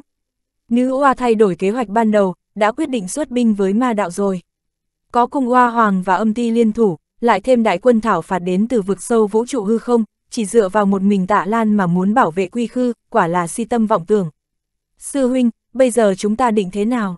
Tạ Lưu Vân hỏi, nếu mộ dung nguyên duệ đã quyết tâm phân yêu cùng ma đạo, vậy thì tất cả ân oán giữa nhân, tiên hai đạo coi như chấm dứt kể từ ngày hôm nay. Lữ Thuần Dương nói, sư huynh định dùng kiếm thanh sách, phát hiện trong lời nói của Lữ Thuần Dương ẩn chứa sát ý, tạ Lưu Vân kinh ngạc hỏi. Nếu đã là quyết chiến, cũng nên có thái độ của quyết chiến. Không dùng kiếm thanh sách sẽ không thể phá được đại trận phòng ngự tiên thiên canh kim của núi Côn Lôn. Tạ Lưu Vân biết một khi Lữ Thuần Dương đã hạ quyết tâm sẽ không bao giờ thay đổi quyết định, đành im lặng thở dài, không nói thêm gì nữa. Sau khi rời khỏi quân chướng của Lữ Thuần Dương, Tạ Lưu Vân lập tức quay lại hàm cốc quan, tổ đình của nhân đạo, ông ta muốn vào lúc sự tình còn có thể vãn hồi, tới hỏi thăm thái độ của đạo đức thiên tôn. chương 1008, Nhân tiên quyết đấu 2 Sau khi gặp đạo đức thiên tôn tại cung bát cảnh, tạ Lưu Vân đã nói về việc Lữ Thuần Dương muốn dùng kiếm thanh sách chặt đứt đại trận phòng ngự côn lôn tiên thiên canh kim. Đạo tổ, một khi kiếm thanh sách chém xuống, giữa nhân, tiên hai đạo sẽ không còn đường vãn hồi, xin đạo tổ hãy ra mặt ngăn Thuần Dương sư huynh. Tạ Lưu Vân nói, tùy hắn ta đi, đạo đức thiên tôn nhàn nhạt nói, tam đạo chỉ là không cùng giáo ý, vì sao cứ nhất định phải lặp lại bi kịch năm xưa. Tạ Lưu Vân nói, nhân gian có tình bi tóc bạc, thiên đạo vô ý lại bể dâu. Ông ta đã muốn chúng ta phải chiến, chúng ta không thể không chiến. Đạo Đức Thiên Tôn nói, đạo tổ, cứ coi như chúng ta đã thắng ván cờ này, những gì còn lại cũng chẳng thuộc về nhân đạo chúng ta, nhân gian toàn bộ sẽ trở thành đạo tràng của nữ oa. Nếu đã biết rõ kết quả cuối cùng của cuộc chiến phong thần là ba đạo đều thua, vì sao chúng ta không đợi sau khi thái cổ thần ma quay lại hãy quyết định, vì sao cứ nhất định phải ngươi chết ta sống với tiên đạo. Lưu Vân, con đừng quên lần này không phải nhân đạo chủ động quyết chiến với tiên đạo, là nhân đạo chủ động tìm nhân đạo quyết chiến. Nếu như con cho rằng mộ dung nguyên duệ để đắc kiều công chúa tấn công Tây Thiên lôi vực chỉ để phân ưu cùng ma đạo, vậy thì con hoàn toàn sai rồi. Lẽ nào mộ dung nguyên duệ còn có tính toán khác? Tạ Lưu Vân kinh ngạc hỏi, con có biết thái cổ thần ma vì cớ gì lại trù trừ không quay lại? Vì sao à? Bởi vì cho tới bây giờ, thái cổ thần giới vẫn chưa hoàn toàn thống nhất. Chưa có thái cổ thần vương hiệu lệnh chúng thần, thái cổ chư thần sẽ không tuyên chiến với thiên đạo. Không có lực lượng thái cổ thần giới, chỉ dựa vào thái cổ ma giới và thái cổ minh giới sẽ không cách nào đột phá được cấm chế tinh hà. Thái cổ thần giới vì cớ gì tới bây giờ vẫn chưa chọn ra thái cổ thần vương. Tạ Lưu Vân lại hỏi, nguyên nhân rất đơn giản, bởi vì người có tư cách trở thành thần vương đều không ở thái cổ thần giới. Nếu không ở đó, vậy họ ở đâu? Ở thế giới của bọn họ, mộ dung nguyên duệ, đầu mẫu nguyên quân, Lữ Thuần Dương, ba người bọn họ mới là ứng cử viên thực sự cho ngôi vị thái cổ thần vương. Tạ Lưu Vân nghe xong liền rơi vào trầm tư, hồi lâu sau đó mới cất giọng nói, con hiểu rồi, mộ dung nguyên duệ muốn thoát khỏi nhân quả, trước khi cuộc chiến phong thần kết thúc có thể quay về thái cổ thần giới. Không sai, mộ dung nguyên duệ muốn giải thoát, nhân đạo chúng ta lẽ nào không muốn như vậy. Vì thế trận này ta không ngăn cản Lữ Thuần Dương dùng kiếm thanh sách. Ai già, đáng tiếc không biết sẽ có bao người vì việc này mà rơi vào kiếp nạn sinh tử. Tạ Lưu Vân thở dài nói, chiến tranh không kết thúc thì hỏa sẽ không dừng, thiên đạo muốn kết liễu chúng ta, chúng ta lẽ nào không muốn kết liễu thiên đạo, nếu như cuối cùng có thể đánh bại thiên đạo, vậy thì tất cả mọi hy sinh đều đáng giá. Đạo Đức Thiên Tôn nói, thế nhưng, chúng ta có thể thắng được thiên đạo sao? Nếu là trước đây thì cho dù có tập hợp toàn bộ sức mạnh của chúng sinh cũng chẳng cách nào đánh bại được thiên đạo, thế nhưng bây giờ, vận mệnh đã tặng cho chúng ta một cơ hội. Vận mệnh mà đạo tổ nhắc đến có phải chỉ tạ Lan không? Tạ Lưu Vân hỏi, xem ra con đã sớm đoán được rồi, chính xác mà nói thì đó là chỉ mệnh cách thất sát. Mọi sự đều có bắt đầu và kết thúc, mà đạo tổ sư năm xưa là bắt đầu, mà đạo tổ sư hiện nay là kết thúc, là thành hay bại, tất cả đều trông cậy vào tạ Lan. Đạo Đức Thiên Tôn nói, ma đạo hiện giờ nguy cơ trùng trùng, cùng hoa hoàng, âm ti, hư không lãnh chủ, ba phương vây quét như vậy, tạ Lan có thể thủ hộ được quy khư hay không hãy còn chưa rõ. Có thủ hộ được quy khư hay không không quan trọng, quan trọng là tạ Lan có sống sót hay không. Chỉ cần cậu ta chống chọi được tới khi thái cổ thần ma quay lại, đó sẽ là thời khắc chúng sinh chiến đấu chống lại thiên đạo. Con rất rõ tính cách của tạ Lan, cậu ta nhất định sẽ không trơ mắt khoanh tay đứng nhìn quy khư bị hủy diệt, cũng sẽ không trơ mắt nhìn đệ tử ma đạo hy sinh, trừ phi muốn hoàn toàn từ bỏ giáo ý của ma đạo, mà rõ ràng điều này là không thể. Tạ Lưu Vân nói, điều ta lo lắng nhất cũng là chuyện này, năm xưa lẽ nào ông ta không phải người như vậy. Chỉ là, cũng chỉ có người như vậy mới có quyết tâm đấu với thiên đạo. Ma đạo có tình, thiên đạo vô tình, vì vậy, ma đạo kể từ khi bắt đầu đã đem thiên đạo trở thành kẻ thù lớn nhất. Nếu như ma đạo tổ sư là kẻ vô tình, làm sao có thể phạm vào cấm kỵ của thiên đạo? Chương 1009, chủ động xuất kích một. Tinh Hà đã ngăn cản sự quay lại của thái cổ thần ma, mà ở phía bên kia của Tinh Hà, đại quân nhìn nhịt như kiến từ vực vương quốc thâm uyên đang ùn ùn kéo đến. Hư không lãnh chủ lần lượt từ vực sâu hư không tới, đang thảo luận về ứng cử viên tiếp theo sẽ tấn công ma đạo. Thất bại thảm hại của ám ảnh dạ ma thế nhưng không đủ để khiến các vị lãnh chủ của vương quốc thâm uyên cảm thấy rúng động, thay vào đó còn khơi dậy khát vọng chinh phục mạnh mẽ. Hư không lãnh chủ mở ra vương quốc của mình từ trong khe nứt thời không và vực sâu hư vô, suốt hàng triệu năm nay chỉ có thể dựa vào việc nuốt lấy năng lượng hư vô từ trong vũ trụ làm thức ăn, chúng thèm muốn năng lượng tinh khiết của sinh mệnh đến cùng cực. Năng lực của chúng thừa sức hủy diệt nhân gian vô số lần, chỉ là thiên đạo không cho phép bọn chúng làm vậy, cũng không cho phép vượt khỏi tinh hà. Nhân gian là nơi trọng yếu của tam giới, đồng thời cũng đại biểu cho tương lai của vũ trụ. Cho dù thiên đạo có tâm diệt thế, ông ta cũng không cho phép nhân gian bị tiêu diệt. Giờ đây thiên đạo đã cho bọn họ một cơ hội tranh giành, đem quy khư vùng đất tái sinh này trở thành phần thưởng, ban tặng nó cho dũng sĩ có thể giúp thiên đạo chinh phục được ma đạo. Quy khư rất nhỏ, nhiều nhất cũng chỉ có thể dung nạp một đại quân của vương quốc thâm uyên tiến vào chiếm giữ. Mấy kẻ hư không lãnh chủ vốn kiêu ngạo cũng tuyệt không cam lòng chia sẻ quy khư với các lãnh chủ khác. Sau thất bại của ám ảnh dạ ma, kẻ đầu tiên đáp lại lời triệu hoán của thiên đạo, liên quan đến nhân tuyển tiếp theo của Vương quốc Thâm Uyên tiến hành tấn công quy khư đã thu hút một cuộc thảo luận vô cùng sôi nổi. Giữa bè lũ hư không lãnh chủ không có nhận thúc chung, với tính cách tàn nhẫn ác độc, từ tranh luận rất dễ dàng biến thành chiến tranh. Vì thiên đạo cần bọn họ bảo toàn lực lượng để ứng phó với sát ý của thái cổ thần ma, sứ giả chiến tranh đã được cử đến để chấm dứt cuộc tranh luận bất tận này. Sứ giả đã áp dụng cách thức sắp xếp trật tự cổ xưa nhất, người nào đến trước được trước. Cách sắp xếp này mặc dù không công bằng đối với các vị lãnh chủ từ phương xa đến, thế nhưng dưới uy áp của thiên đạo, bọn họ cũng không dám đưa ra bất kỳ ý kiến phản đối nào. Ám ảnh dạ ma là kẻ đầu tiên đáp lại lời triệu hoán của thiên đạo mà tới, theo sau ông ta chính là ngục lôi hư không lãnh chủ. Tổng quan mà nói đại quân ngục lôi thâm uyên mạnh hơn nhiều so với đội quân ám ảnh thâm uyên của ám ảnh dạ ma, bản thân ngục lôi lãnh chủ cũng là một hư không lãnh chủ chiến lực vô cùng cường đại, sức mạnh chiến đấu vượt xa ám ảnh dạ ma. Ngục lôi lãnh chủ xuất trận khiến nhiều vị hư không lãnh chủ trong lòng cảm thấy chán nản. Bất luận là sức mạnh chiến đấu cá nhân hay là quân lực tổng thể thì bọn họ đều chẳng cách nào so bì được với ngục lôi lãnh chủ. Nếu như ngục lôi lãnh chủ đánh bại ma đạo, bọn họ sẽ chẳng còn cơ hội tranh danh nhân gian nào nữa, mà nếu như ngục lôi lãnh chủ thất bại, vậy thì bọn họ càng không có năng lực chinh phục quy khư. Trên thực tế, mặc dù ám ảnh dạ ma thất bại thảm hại, thế nhưng các vị hư không lãnh chủ cũng không biết nhiều về tình hình chiến đấu trên núi Bất Châu. Nguyên nhân là bởi bọn họ trực tiếp thông qua thiên khiển chi môn để tới quy khư, bản thân không thể xuyên qua vũ trụ hư không để điều tra chiến cuộc ở quy khư. Ma đạo đối với bọn họ mà nói, từ đầu đến cuối đều bị che giấu bởi vài tia ánh sáng thần bí. Chỉ là, về cơ bản bọn họ vẫn giữ thái độ xem thường đối với ma đạo. Thứ khiến hư không lãnh chủ thật sự kiêng kỵ là thái cổ tam giới, mà quy khư của ma đạo bất luận thế nào cũng không thể đánh đồng với thái cổ tam giới. Tương tự như vậy, sức mạnh chiến đấu của ma đạo tổ sư cũng tuyệt đối không thể sánh với tu vi của thái cổ thần vương và thái cổ ma đế. Bởi vì ma đạo tổ sư sinh tại nhân gian, thiên đạo làm sao chấp nhận một kẻ sinh tại nhân gian có thể uy hiếp tới sức mạnh chiến đấu của ông ta cơ chứ? Thiên khiên chi môn đã mở ra, một người khổng lồ thân đen như mực, toàn thân sấm sét lôi văn đỏ rực dần giật ẩn hiện, cao tới 100 trượng, leo lên bậc thang. Ngục lôi lãnh chủ, mặt đầy phấn chấn, trong đôi mắt to lóe lên lôi mang vô tận. Trong những năm tháng xa xưa, ngục lôi lãnh chủ ngày này qua ngày khác không ngừng nuốt chừng năm lượng năng lượng sấm sét giải rác trong vũ trụ sâu thẳm, từ đó củng cố sức mạnh thần thông của mình. Sau đó nhờ cơ duyên xảo hợp, ngục lôi lãnh chủ đã lấy được sức mạnh sấm sét tinh thuần từ trong một mảnh thiên thạch bị tan vỡ, lại dùng nó để tạo nên cây thương ngục lôi phù hợp với cơ thể của mình.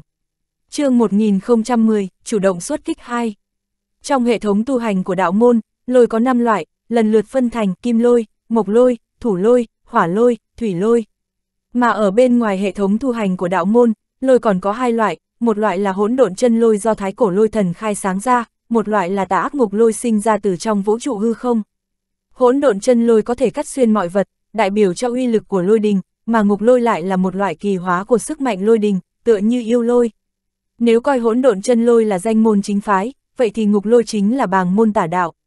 Điểm chung của cả hai là đều có thể phát huy sức mạnh lôi đình. Hỗn độn chân lôi có màu tử kim, đại diện cho vương đạo, mà ngục lôi lại có màu đỏ tươi, đại diện cho tà ác. Sau khi đổ mẫu nguyên quân của nhân đạo đạt được thần cách thái cổ lôi thần, nguồn sức mạnh mới mà bà ta nắm giữ chính là hỗn độn chân lôi, chiến lực cũng vì vậy mà chuyển hóa, rất có khả năng đã vượt qua cả trí cường đạo tổ. Chỉ có điều, nếu để đổ mẫu nguyên quân quyết đấu với ngục lôi lãnh chủ, thắng bại như thế nào rất khó phán đoán.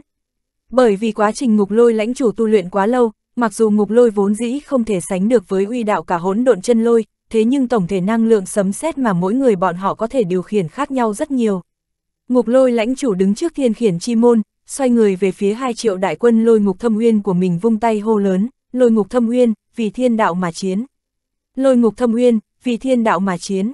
Đại quân hô to, cùng với ngục lôi lãnh chủ bước vào thiên khiển chi môn. Tôi biết quy khư sẽ chẳng yên bình bao lâu, rất nhanh, tin tức cùng oa hoàng phái binh tới Đông Hải đã truyền tới quy khư.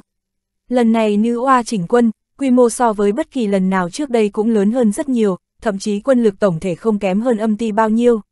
Thiên đạo kết thúc bàn cờ, cuối cùng chỉ giữ lại một đạo, người chiến thắng cuối cùng cũng tuyệt đối không phải đạo môn mà là nữ oa. Nữ oa một mình bay tới Đông Hải, sau đó mở ra cánh cổng truyền tống yêu nhiếp tinh không, triệu hoán tinh không cự thú và thiên ma ngoại vực. Vẻn vẹn chưa đầy nửa ngày, hai triệu cửa thú tinh không và ba triệu thiên ma ngoại vực đã xuất hiện trên bầu trời Đông Hải.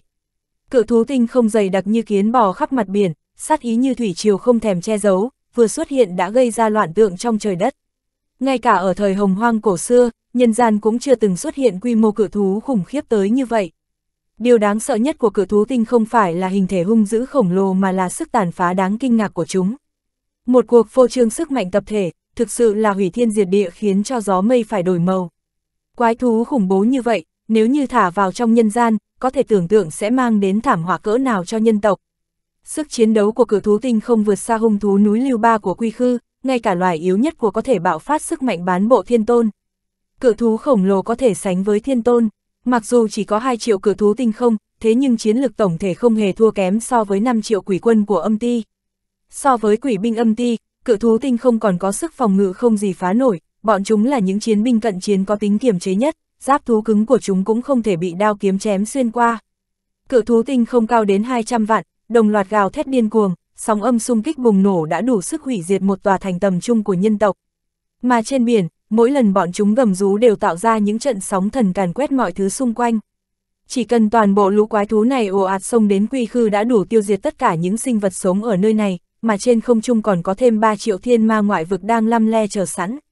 Thiên ma ngoại vực có hình người, lưng có hai cánh, mỗi cánh dài hơn mười mấy trượng. Chúng ùn ùn kéo đến, giống như mây đen bao phủ nơi này. Cự thú tinh không cướp bóc máu thịt của sinh vật sống trên những tinh cầu đơn lẽ để duy trì sự sống, mà thiên ma ngoại vực lại thích ăn tươi nuốt sống thần hồn. Thứ mà cự thú tinh không muốn nghiền nát là cơ thể xác thịt, còn thứ mà thiên ma ngoại vực hấp thụ là thần hồn của cơ thể đó. Hai loại sinh vật này được xưng là những kẻ săn mồi trong hư vô, không biết chúng đã xâm lược bao nhiêu thế giới, dù có là vương quốc thâm uyên, hay kể cả thái cổ tam giới đều từng là nạn nhân dưới móng vuốt của bọn chúng. Tinh hà ngăn cách nhân gian với vũ trụ hư không, vì thế, cho dù hai kẻ săn mồi ác độc này dẫm đạp đến máu thịt và hồn phách của chúng sinh trong lục đạo, nhưng chưa từng thấy chúng xuất hiện ở nhân gian. Nữ oa kêu gọi bọn chúng đến nhân gian, vốn dĩ muốn mượn sức của chúng để đối phó với đạo môn, nhằm thuận lợi chấp hành pháp tắc hủy diệt thế giới mà thiên đạo đề ra, mở mang đạo tràng ở nhân gian. Lúc biết tôi đã hợp nhất tam kiếm làm một, nữ oa bèn thay đổi chủ ý, chính thức khiêu chiến với ma đạo. Đứng ở đỉnh núi Bất Chu nhìn về phía Đông Hải xa xăm, tâm trạng của tôi lúc này đây bỗng trở nên vô cùng phức tạp. Thiên đạo thật quá xem trọng ma đạo chúng ta rồi, đã điều động đại quân thâm uyên, giờ còn thêm một nữ oa xuất binh đánh Đông Hải, thật sự đã quyết tâm diệt cỏ tận gốc ma đạo. Tôi nói, chuyện này đã chứng minh bước chân thái cổ thần ma càng lúc càng gần nhân gian rồi, thế nên thiên đạo mới phải nhanh chóng kết thúc cuộc chiến phong thần, cắt đứt nhân quả giải thoát bản thân. Khương Tuyết Dương nói, cho dù là như thế, tại sao ông ta không để mấy tên hư không lãnh chủ đồng loạt tiến đánh quy khư, mà cứ nhất quyết muốn nữ oa xuất binh? Tôi hỏi, sức mạnh của thâm uyên hàng loạt đổ dồn về nhân gian, sẽ đánh mất cân bằng sức mạnh ở nơi này, khiến cán cân thế giới sụp đổ. Nhân gian là nền móng của thiên đạo, ông ta có thể hủy diệt chúng sinh, nhưng tuyệt đối sẽ không gây hại đến nhân thế. Cậu đã hợp nhất thái cổ tam kiếm, thiên đạo liền biết chỉ dựa vào sức mạnh của thâm uyên thì không thể đạp đổ ma đạo, thế nên mới phải để nữ oa xuất binh. Nếu như âm ti tiếp tục phối hợp tác chiến với nữ oa, thì trận chiến sắp tới ma đạo sẽ gặp nhiều bất lợi. Thay vì cứ ngồi yên chờ chết, không bằng chủ động tấn công thôi. Chủ động tấn công sao? Khương Tuyết Dương hỏi, tôi muốn tiên phong đến vũ trụ hư không chủ động khiêu chiến với một vị lãnh chủ. Một mình cậu có đủ sức ngăn cản đại quân thâm uyên không? Khương Tuyết Dương lo lắng hỏi, ma đạo tổ sư năm đó có thể một mình chinh chiến khắp ba ngàn dặm, một kiếm chống chọi với trăm vạn kẻ địch, tôi muốn thử xem. Điều mà tôi lo là, lúc tôi nghênh chiến với đại quân thâm uyên, thì âm ti và nữ oa có thừa nước đục thả câu bao vây ma đạo hay không? Nữ oa đã xuất binh rồi, nhân đạo tạm thời không cần ngạo phong tiếp tục chấn giữ, tôi có thể triệu hồi ngạo phong quay lại. Có ngạo phong ở đây, đám cự thú tinh không của nữ oa chỉ là tép siêu thôi. Khương Tuyết Dương điềm tĩnh nói, cô ấy nói nhẹ nhàng như vậy, nhưng tôi biết, cho dù có triệu hồi ngạo phong và yến tháp trở về, cũng không thể ngăn cản được liên minh âm ti và nữ oa. Đáng tiếc thay, dù tôi biết rõ mọi chuyện nhưng cũng không nghĩ ra cách nào hóa giải vấn đề, bởi vì đây là biện pháp giải quyết tốt nhất của ma đạo bây giờ. Nếu như Thủy Hỏa vẫn còn ở đây thì tốt qua, vậy thì tôi đã không cần bận tâm lo lắng cho quy khư. Sau khi bàn giao hết mọi chuyện, tôi liền ngự kiếm bay thẳng lên trời cao. chương 1011, hỗn độn kiếm vũ 1. Theo truyền thuyết, nơi cao nhất bên ngoài kết giới của thiên đình, có một giải thiên hà ngăn cách nhân gian và hư không vũ trụ. Đại quân thâm uyên hư không vũ trụ nếu muốn đến được nhân gian thì phải vượt qua đoạn thiên hà này.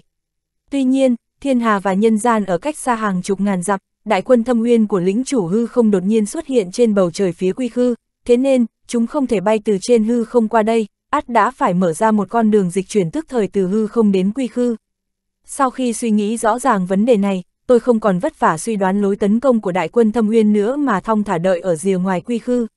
Bên ngoài là bầu trời đầy sao rộng lớn của vũ trụ. Những ngôi sao to như cái tô, tưởng chừng như có thể chạm vào được. Lúc này, kể từ trận chiến ở núi Bất Chu đã trôi qua được một quãng thời gian, nhưng tôi không phải chờ đợi quá lâu, rất nhanh đã nhận thấy một luồng tà khí cường đại xuất hiện. cỗ khí thức tà ác này ở ngay phía trên đỉnh đầu tôi, nơi đó dần hình thành một vòng xoáy hư không khổng lồ đen như mực. Khi hình thức ngày càng ổn định, tà khí tỏa ra từ bên trong ngày càng mãnh liệt, như thể một sinh vật tà ác mạnh mẽ sẽ nhảy ra khỏi đó bất cứ lúc nào. Không biết qua bao lâu, vòng xoáy hư không cuối cùng cũng ngừng quay vòng. Theo sau sự giật rung của tia sét và tiếng sấm, một thân hình cao to đen như mực và trong suốt, khắp người chi chít lôi văn đỏ tươi, bước chân như sấm rền nhảy ra khỏi đó. Hai con mắt to đùng phóng ra lôi mang vô tận, lôi mang sáng rực, chiếu sáng cả vài trường. Trong tay hắn là một ngọn giáo dài hàng trăm thước, ầm ầm như sấm, ẩn chứa sát khí vô tận. Sau khi người khổng lồ xuất hiện, hắn bắt đầu duỗi người, lôi văn trên người bắt đầu sáng lên, trong nháy mắt nhuộm đỏ khoảng không xung quanh. Trong không gian màu đỏ, sấm giật đùng đoàng, xét đánh liên hồi. Trong đạo môn, năm loại lôi kiếp đều có sức mạnh riêng, nhưng tôi chưa bao giờ thấy sức mạnh lôi đình tà ác và kỳ lạ như vậy. Sau này tôi mới biết rằng loại sấm sét này hoàn toàn không có trong hệ thống tu hành của đạo môn, mà là một loại ngục lôi tà ác được tạo ra bởi sự ô nhiễm âm dương trong vũ trụ. Sức mạnh của ngục lôi lớn hơn nhiều so với năm loại lôi kiếp của đạo môn, chỉ đứng sau hỗn độn chân lôi của lôi thần thái cổ. Sau khi giãn duỗi cơ thể, người khổng lồ bắt đầu tiến về phía trước. Theo bước chân của người khổng lồ, có đại quân thâm uyên vô tận tràn ra từ vòng xoáy hư không. Hình dạng của chúng giống như với người khổng lồ, nhưng chúng không cao bằng hắn, vài trượng cho đến vài chục trượng, mỗi cá thể đều toát ra sức mạnh lôi đình tà ác. Đợi khi toàn bộ 200 vạn đại quân ra hết, đối mặt với sức mạnh lôi đình mạnh mẽ và tà ác, tôi thậm chí còn có ảo giác, tưởng như rằng có một lôi hải đang lơ lửng trên đỉnh đầu, sức mạnh lôi đình dâng trào và vô tận dường như có thể chút xuống bất cứ lúc nào, tiêu hủy thần hồn của tôi. Nhưng tôi không hề sợ hãi, ngược lại, đợi sau khi gã khổng lồ tập hợp quân đội của hắn xong và vòng xoáy hư không khép lại, tay tôi cầm côn lôn tuyết trực tiếp bay tới trước mặt hắn, lơ lửng trên không trung nhìn chằm chằm hắn. So với thân hình lôi đình to lớn của hắn ta, tôi giống như sâu bọ vậy, hay đúng hơn là giống một con thiêu thân. Thực ra, cơ hội tốt nhất để giết chết người khổng lồ chính là lúc hắn nhảy ra khỏi vòng xoáy hư không, lúc đó do ảnh hưởng của thời gian và không gian hỗn loạn, thần niệm không ổn định, sức chiến đấu cũng không toàn diện. Tuy nhiên, tôi không nhân cơ hội này để đánh lén, bởi vì mục tiêu của tôi không chỉ có hắn mà còn có 200 vạn đại quân phía sau hắn. Tôi biết rằng ở thiên hà xa xôi, vẫn còn rất nhiều hư không lĩnh chủ đang chờ đợi để vượt qua thời gian và không gian mà đến với quy khư. Thiên đạo sử dụng quy khư như phần thưởng để làm nơi tái sinh, yêu cầu lĩnh chủ hư không vì ông ta chiến đấu. Điều tôi phải làm là, dù có bao nhiêu đại quân thâm uyên đến xâm chiếm quy khư, chỉ cần chúng dám đến thì không ai có thể rời đi. Không giết thì không thể ngừng giết, ai xâm phạm đến quy khư, ắt phải diệt cỏ tận gốc. Tôi không tin rằng sau khi tôi làm được điều này, vẫn sẽ có những lĩnh chủ hư không dám đặt chủ ý đến quy khư. Tất nhiên, điều này rất khó thực hiện được, uy áp thần niệm của người khổng lồ không hề thua kém tôi, sức mạnh lôi đình tà ác, ma quỷ tỏa ra từ cơ thể hắn ta, cũng là một sức mạnh thần thông mà tôi chưa từng được thấy trước đây. Đằng sau người khổng lồ, còn có quân đoàn với 200 vạn chiến lực mạnh mẽ. Tuy nhiên, điều tôi dư giả nhất bây giờ chính là lòng dũng cảm và niềm tin. Trong biển máu ở huyết hải phù đồ, dù thân thể yếu đuối nhưng tôi cũng dám đối mặt với sát cơ của vạn quỷ chi mẫu, chỉ dựa vào tim thất khiếu linh lung và một thân bản lĩnh quỷ kiếm mà thoát mạng. Tôi của bây giờ đã mạnh mẽ hơn trước không chỉ vài lần. Người khổng lồ và quân đoàn dưới chỉ huy của hắn, mang lại cho tôi ít cảm giác nguy cơ hơn nhiều so với vạn quỷ chi mẫu của lúc đó. chương 1012, hỗn độn kiếm vũ 2 Nếu nói lĩnh chủ hư không là một sự tồn tại có thể so sánh với thái cổ thần ma, thì vạn quỷ chi mẫu chỉ là sự tồn tại cấp bậc thái cổ thần vương mà thôi. Vì vậy, tôi rất tự tin trong trận chiến này dù biết nó sẽ rất khó khăn. Sau khi nhận ra sự tồn tại của tôi, người khổng lồ đã khóa chặt thần niệm của hắn vào tôi. Nhân loại thấp kém kia, sao ngươi lại ở đây? Gã người khổng lồ lên tiếng, giọng nói như sấm rền. Ta ở đây chờ ngươi, ngươi là ai? Quỷ thần minh minh, tự tư tự lượng, ta chính là ma đạo tổ sư. Gã khổng lồ sừng sốt một lúc rồi cười lớn, tốt lắm, ma đạo tổ sư, người sẽ phải trả giá đắt cho sự ngu ngốc của mình. Nói xong, tên khổng lồ bộc phát sát ý. Cùng lúc đó, đại quân 200 vạn phía sau, cũng đồng thời bộc phát sát khí quân uy. Trong khoảnh khắc, sấm sét vang lên, sát khí quân uy tạo nên những đợt sóng lớn trong không gian. Sức mạnh hủy diệt của dòng lôi đình vô tận quét về phía tôi như một ngọn núi ập tới. Đối mặt với vô số sát ý hủy diệt của lôi đình, tôi không thân lĩnh quỷ kiếm độn không, mà trực tiếp giơ côn lôn tuyết trong tay lên và dùng hết sức lực để chém một nhát kiếm. Thanh kiếm này thanh thế cực lớn, luồng hình kiếm khí ma kiếm vô tận lao ra từ đầu kiếm. Sau khi một kiếm chém ra luồng kiếm khí quỷ kiếm vô tận, tôi chém thêm hai nhát, lần lượt là hình kiếm khí của thần kiếm và hình kiếm khí quỷ kiếm kiếm. Ba luồng hình kiếm khí này, tôi không trực tiếp nhắm vào kẻ thù, thay vào đó, tôi chém tất cả chúng về phía trên bầu trời phía của đại quân thâm uyên. Khi các dòng hình kiếm khí của thái cổ tam kiếm gặp nhau và hợp nhất trong không trung, chúng bắt đầu tiến hóa thành một dòng kiếm khí hỗn độn vô tận, đảo ngược và rơi thẳng từ trên không xuống, khoảng không phía trên đại quân thâm uyên bắt đầu xuất hiện một trận kiếm vũ hỗn độn.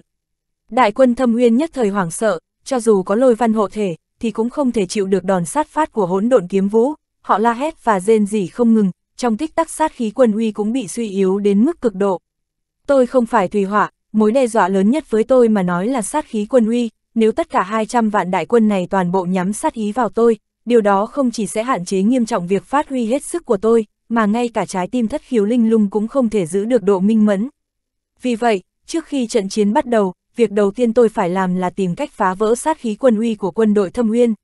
Nếu như đối đầu với một đại quân khác, tôi hoàn toàn có thể trực tiếp tiến vào giữa trận hình và bắt đầu chém giết, như vậy có thể tránh được việc bị sát khí quân uy khóa chặt, thế nhưng đại quân thâm uyên trước mặt đã hình thành thế lôi hải, tôi xông vào thì khác gì tìm cái chết.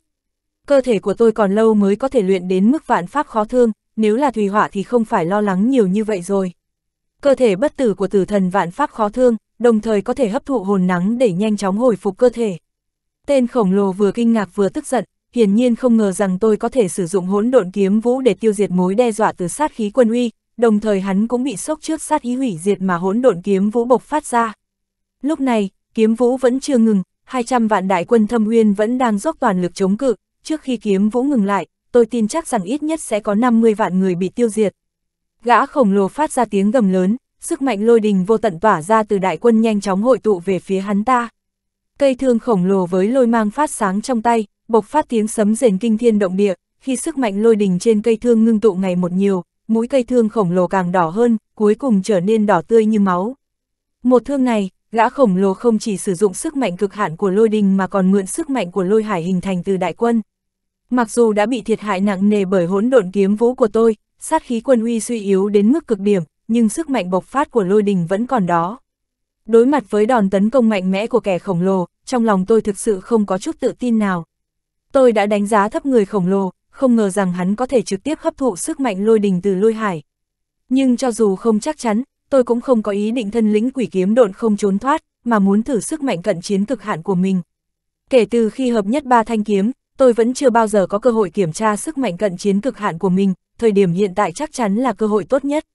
Gã khổng lồ trước mặt hoàn toàn không phải là kẻ thù mạnh nhất của tôi, tôi sẽ có những kẻ thù lớn mạnh hơn thế trong tương lai. Vì vậy, tôi không thể trốn được, dù trí thông minh nhanh nhạy là quan trọng nhưng điều quan trọng nhất trong cuộc chiến sinh tử chính là lòng dũng cảm. Tục ngữ có câu, đường hẹp gặp nhau, kẻ dũng cảm thắng. Đúng lúc đó, đối mặt với đòn chí mạng của tên khổng lồ, trái tim thất khiếu linh lung phát ra vô tận kiếm ý, toàn bộ dồn hết vào côn lôn tuyết. Sau đó, tôi cũng hét lớn một tiếng và tung ra đòn tấn công cận chiến mạnh nhất kể từ khi hợp nhất ba thanh kiếm lại. chương 1013, tiêu diệt ngục lôi 1. Thương, tàn nhẫn vô tình, chú trọng một kích giết chết, chỉ công không thủ. Bởi vì thương quá dài, một khi đã toàn lực xuất chiêu thì rất khó để thay đổi chiêu thức, và lại khả năng phòng thủ không tốt. Vậy nên thương được mệnh danh là kẻ tặc của trăm binh khí. Trong hàng trăm binh khí, thương pháp là khó nhất, chỉ ba động tác đơn giản ban, khấu, chát tức là di chuyển, rằng lại, đâm thì cũng phải mất cả đời để luyện tập. Độ khó của kiếm đạo nằm ở sự vô tận cùng của nó. Việc luyện tập thương pháp dù khó khăn đến đâu cũng có giới hạn, nhưng kiếm đạo là vô tận, dùng tận sự biến hóa, dùng hết mọi khả năng. Cổ nhân có câu, niên đao, nguyệt côn, nhất bối tự thương, bảo kiếm tùy thân tàng. Nghĩa là luyện đao tính năm, luyện côn tính tháng, luyện thương cả đời, bảo kiếm luôn mang trên mình. Kiếm cần phải được lĩnh ngộ và luyện tập thường xuyên để duy trì cảm giác cầm kiếm, tránh cho kiếm tâm bị phủ bụi. Trong suốt thời đại lãnh binh khí, cuộc tranh luận về kiếm và thương chưa bao giờ dừng lại, nhưng cũng chưa bao giờ đi đến hồi kết. Bởi vì người bình thường sẽ không bao giờ có thể chạm tới giới hạn của kiếm đạo. Nhát thương của kẻ khổng lồ nhắm vào tôi tuy không có biến hóa, nhưng nó đã khóa chặt tất cả biến hóa của tôi. Có thể thấy, trong suốt những năm dài sống trong hư không vũ trụ, hắn đã nắm vững mọi bí mật của thương pháp. Ngạo Phong cũng biết sử dụng thương, cậu ấy có cây thương tên Long Nha, Long Nha xuất thương thiên hạ hồng. Tuy nhiên, thương pháp của Ngạo Phong giống như trò trẻ con trước mặt gã khổng lồ. Tôi chưa bao giờ thấy một thương pháp tàn nhẫn và vô tình như vậy, rõ ràng là mạnh mẽ và nặng nề như một ngọn núi, nhưng nó cũng cuồn cuộn sức mạnh của lôi hải. Xét về bản thân thương pháp, thì cú đánh này đã đạt đến đỉnh cao sau vài giây và không có sai sót nào. Mũi thương màu đỏ tươi giống như một ngọn núi lửa đang rực cháy, mà trong ngọn núi lửa chứa đầy sức mạnh của lôi đình. So với mũi giáo to như ngọn núi kia, côn lôn tuyết trong tay tôi nhỏ bé như một cây kim. Bất cứ ai cũng sẽ nghĩ rằng tôi như con thiêu thân vào ngọn lửa và tìm kiếm cái chết cho chính mình. Cũng không ai tin rằng, một thanh kiếm nhỏ có thể chặn được ngọn giáo chứa đựng sức mạnh lôi đình hủy diệt vô tận. Khi người khổng lồ và tôi di chuyển, khoảng cách giữa chúng tôi rút ngắn một cách nhanh chóng. Cuối cùng, mũi kiếm và mũi giáo va chạm nhau. Hỗn độn kiếm vũ cũng vừa hay dừng lại ở thời điểm này, như thể muốn đại quân thâm uyên tận mắt chứng kiến cuộc đọ sức kinh thiên động địa này. Mũi kiếm và mũi thương va chạm nhau, nhìn thế nào đi nữa, người bị tiêu diệt đáng ra phải là tôi. Tôi sẽ bị sức mạnh của lôi đình thổi bay thành cho bụi, mà côn lôn tuyết trong tay tôi sẽ bị gãy tương từng đoạn một. Tuy nhiên, điều đáng kinh ngạc là cảnh tượng này đã không xảy ra. Khi mũi kiếm và mũi thương va chạm từng tấc một, gã khổng lồ cao trăm trượng bùng nổ với toàn bộ sức mạnh lôi đình nhưng không hạ gục được tôi. Không những không bị đánh bại, dù hắn ta có cố gắng thế nào, thì cũng không thể tiến về phía trước ngay cả khi có cây thương trên tay. 150 vạn quân thâm uyên còn lại, nhìn tôi bằng ánh mắt cực kỳ khó tin, họ không hiểu tại sao lại xảy ra chuyện như vậy. Hiện trường nhất thời bị đóng băng, trên mặt mọi người đều tràn đầy sự kinh ngạc. Kẻ khổng lồ vừa sợ hãi vừa tức giận, trong mắt hiện lên một tia kinh ngạc. Trong mắt người khác, tôi là kẻ yếu đuối còn hắn là kẻ mạnh mẽ. Chỉ có hắn ta mới biết rằng tôi mạnh hơn mọi người nghĩ rất nhiều. Không, điều này là không thể. Người khổng lồ gầm lên và một lần nữa thu nạp sức mạnh lôi đình từ đại quân thâm uyên. Sau đó, cơ thể cao trăm trượng của hắn bắt đầu phát triển nhanh chóng với tốc độ có thể nhận thấy bằng mắt thường. Những lôi văn trên cơ thể hắn ngày càng trói lóa, bốc lên những ngọn lửa đỏ tươi. Lôi mang trong mắt gã giống như hai mặt trời đỏ rực. Lôi thương cũng có những thay đổi rõ ràng, mũi thương càng ngày càng đỏ rực, sức mạnh vô tận của lôi đình liều mạng muốn bộc phát và hủy diệt mọi thứ, nhưng vì mũi thương bị khóa chặt nên không tìm được nơi để chút giận. Với khả năng phòng ngự hiện tại của tôi, nếu vũ khí mà tên khổng lồ sử dụng không phải là thương mà là bất kỳ loại vũ khí nào, có lẽ tôi sẽ không còn lựa chọn nào khác ngoài việc chạy trốn. Bởi vì tôi không thể chịu nổi sức mạnh lôi đình mạnh mẽ như vậy. Nhưng tiếc là hắn ta sử dụng thương, kẻ tặc trong trăm binh khí, dồn mọi sát ý của vào một điểm. Mà tôi đã tình cờ dùng mũi kiếm của mình để phong ấn mũi thương của hắn một cách hoàn hảo. Trừ khi gã chọn cách tự hủy thần khí, nếu không tất cả sức mạnh lôi đình chỉ có thể bị tiêu hao cho sức mạnh của cơ thể của hắn ta. Cơ thể của người khổng lồ vẫn đang phát triển, sức mạnh trong tay cũng ngày càng lớn hơn. Tại thời điểm mũi kiếm và mũi thương tiếp xúc, các vòng sáng năng lượng bắt đầu hình thành và nhanh chóng lan ra xung quanh. Khi gã khổng lồ đổ hết tiền cược vào sức mạnh lôi đình, tôi cũng đồng thời tăng tiền cược, dồn hết vào kiếm khí, khiến cả hai chúng tôi rơi vào trạng thái đối kháng không khoan nhượng. chương 1014, Tiêu diệt ngục lôi 2 Không ai có thể trốn thoát, cũng không ai có thể thay đổi chiêu thức của mình. Bởi vì sự hủy diệt chỉ xảy ra trong phút chốc, cuối cùng, tên khổng lồ hấp thu toàn bộ sức mạnh lôi đình của đại quân thâm huyên, lúc này, 200 vạn sĩ binh của hắn căn bản không còn chút sức chiến đấu nào, chẳng khác chi những kẻ vô dụng. Một khi thất bại, hắn ta và đội quân thâm uyên của mình sẽ cùng nhau bị tiêu diệt. Tôi chưa sử dụng đến hỗn độn kiếm hải, bởi vì hỗn độn kiếm hải sẽ hút hết tất cả thần niệm mà tôi có thể sử dụng, thậm chí còn tổn hại nghiêm trọng đến thần hồn của tôi. Nhưng bây giờ tôi cảm thấy thần niệm của mình đã đủ để triệu hồi ra một hỗn độn kiếm hải. Giống như gã khổng lồ, tôi cũng không còn đường lui nữa. Hắn ta đặt cược toàn bộ đội quân thâm uyên, còn tôi đặt cược cả mạng sống của chính mình. Khi mũi thương không thể xuyên thủng sự phong bế đó, sự điên cuồng vô tận bắt đầu hiện lên trong mắt gã khổng lồ. Tức giận không thôi, thần hồn tôi đã bắt đầu mệt mỏi, trái tim thất khiếu linh lung của tôi đã bắt đầu khô héo. Nhưng vẻ mặt tôi lại không hề thay đổi, ánh mắt dán chặt, nhưng lại thờ ơ, không hối hận. Khi vòng sáng tỏa ra từ khu vực tiếp xúc giữa mũi kiếm và mũi thương ngày càng lớn, dao động ngày càng mạnh, thần hồn của tôi bắt đầu suy sụp nhanh chóng, tôi biết rằng mình không thể cầm cự được bao lâu nữa.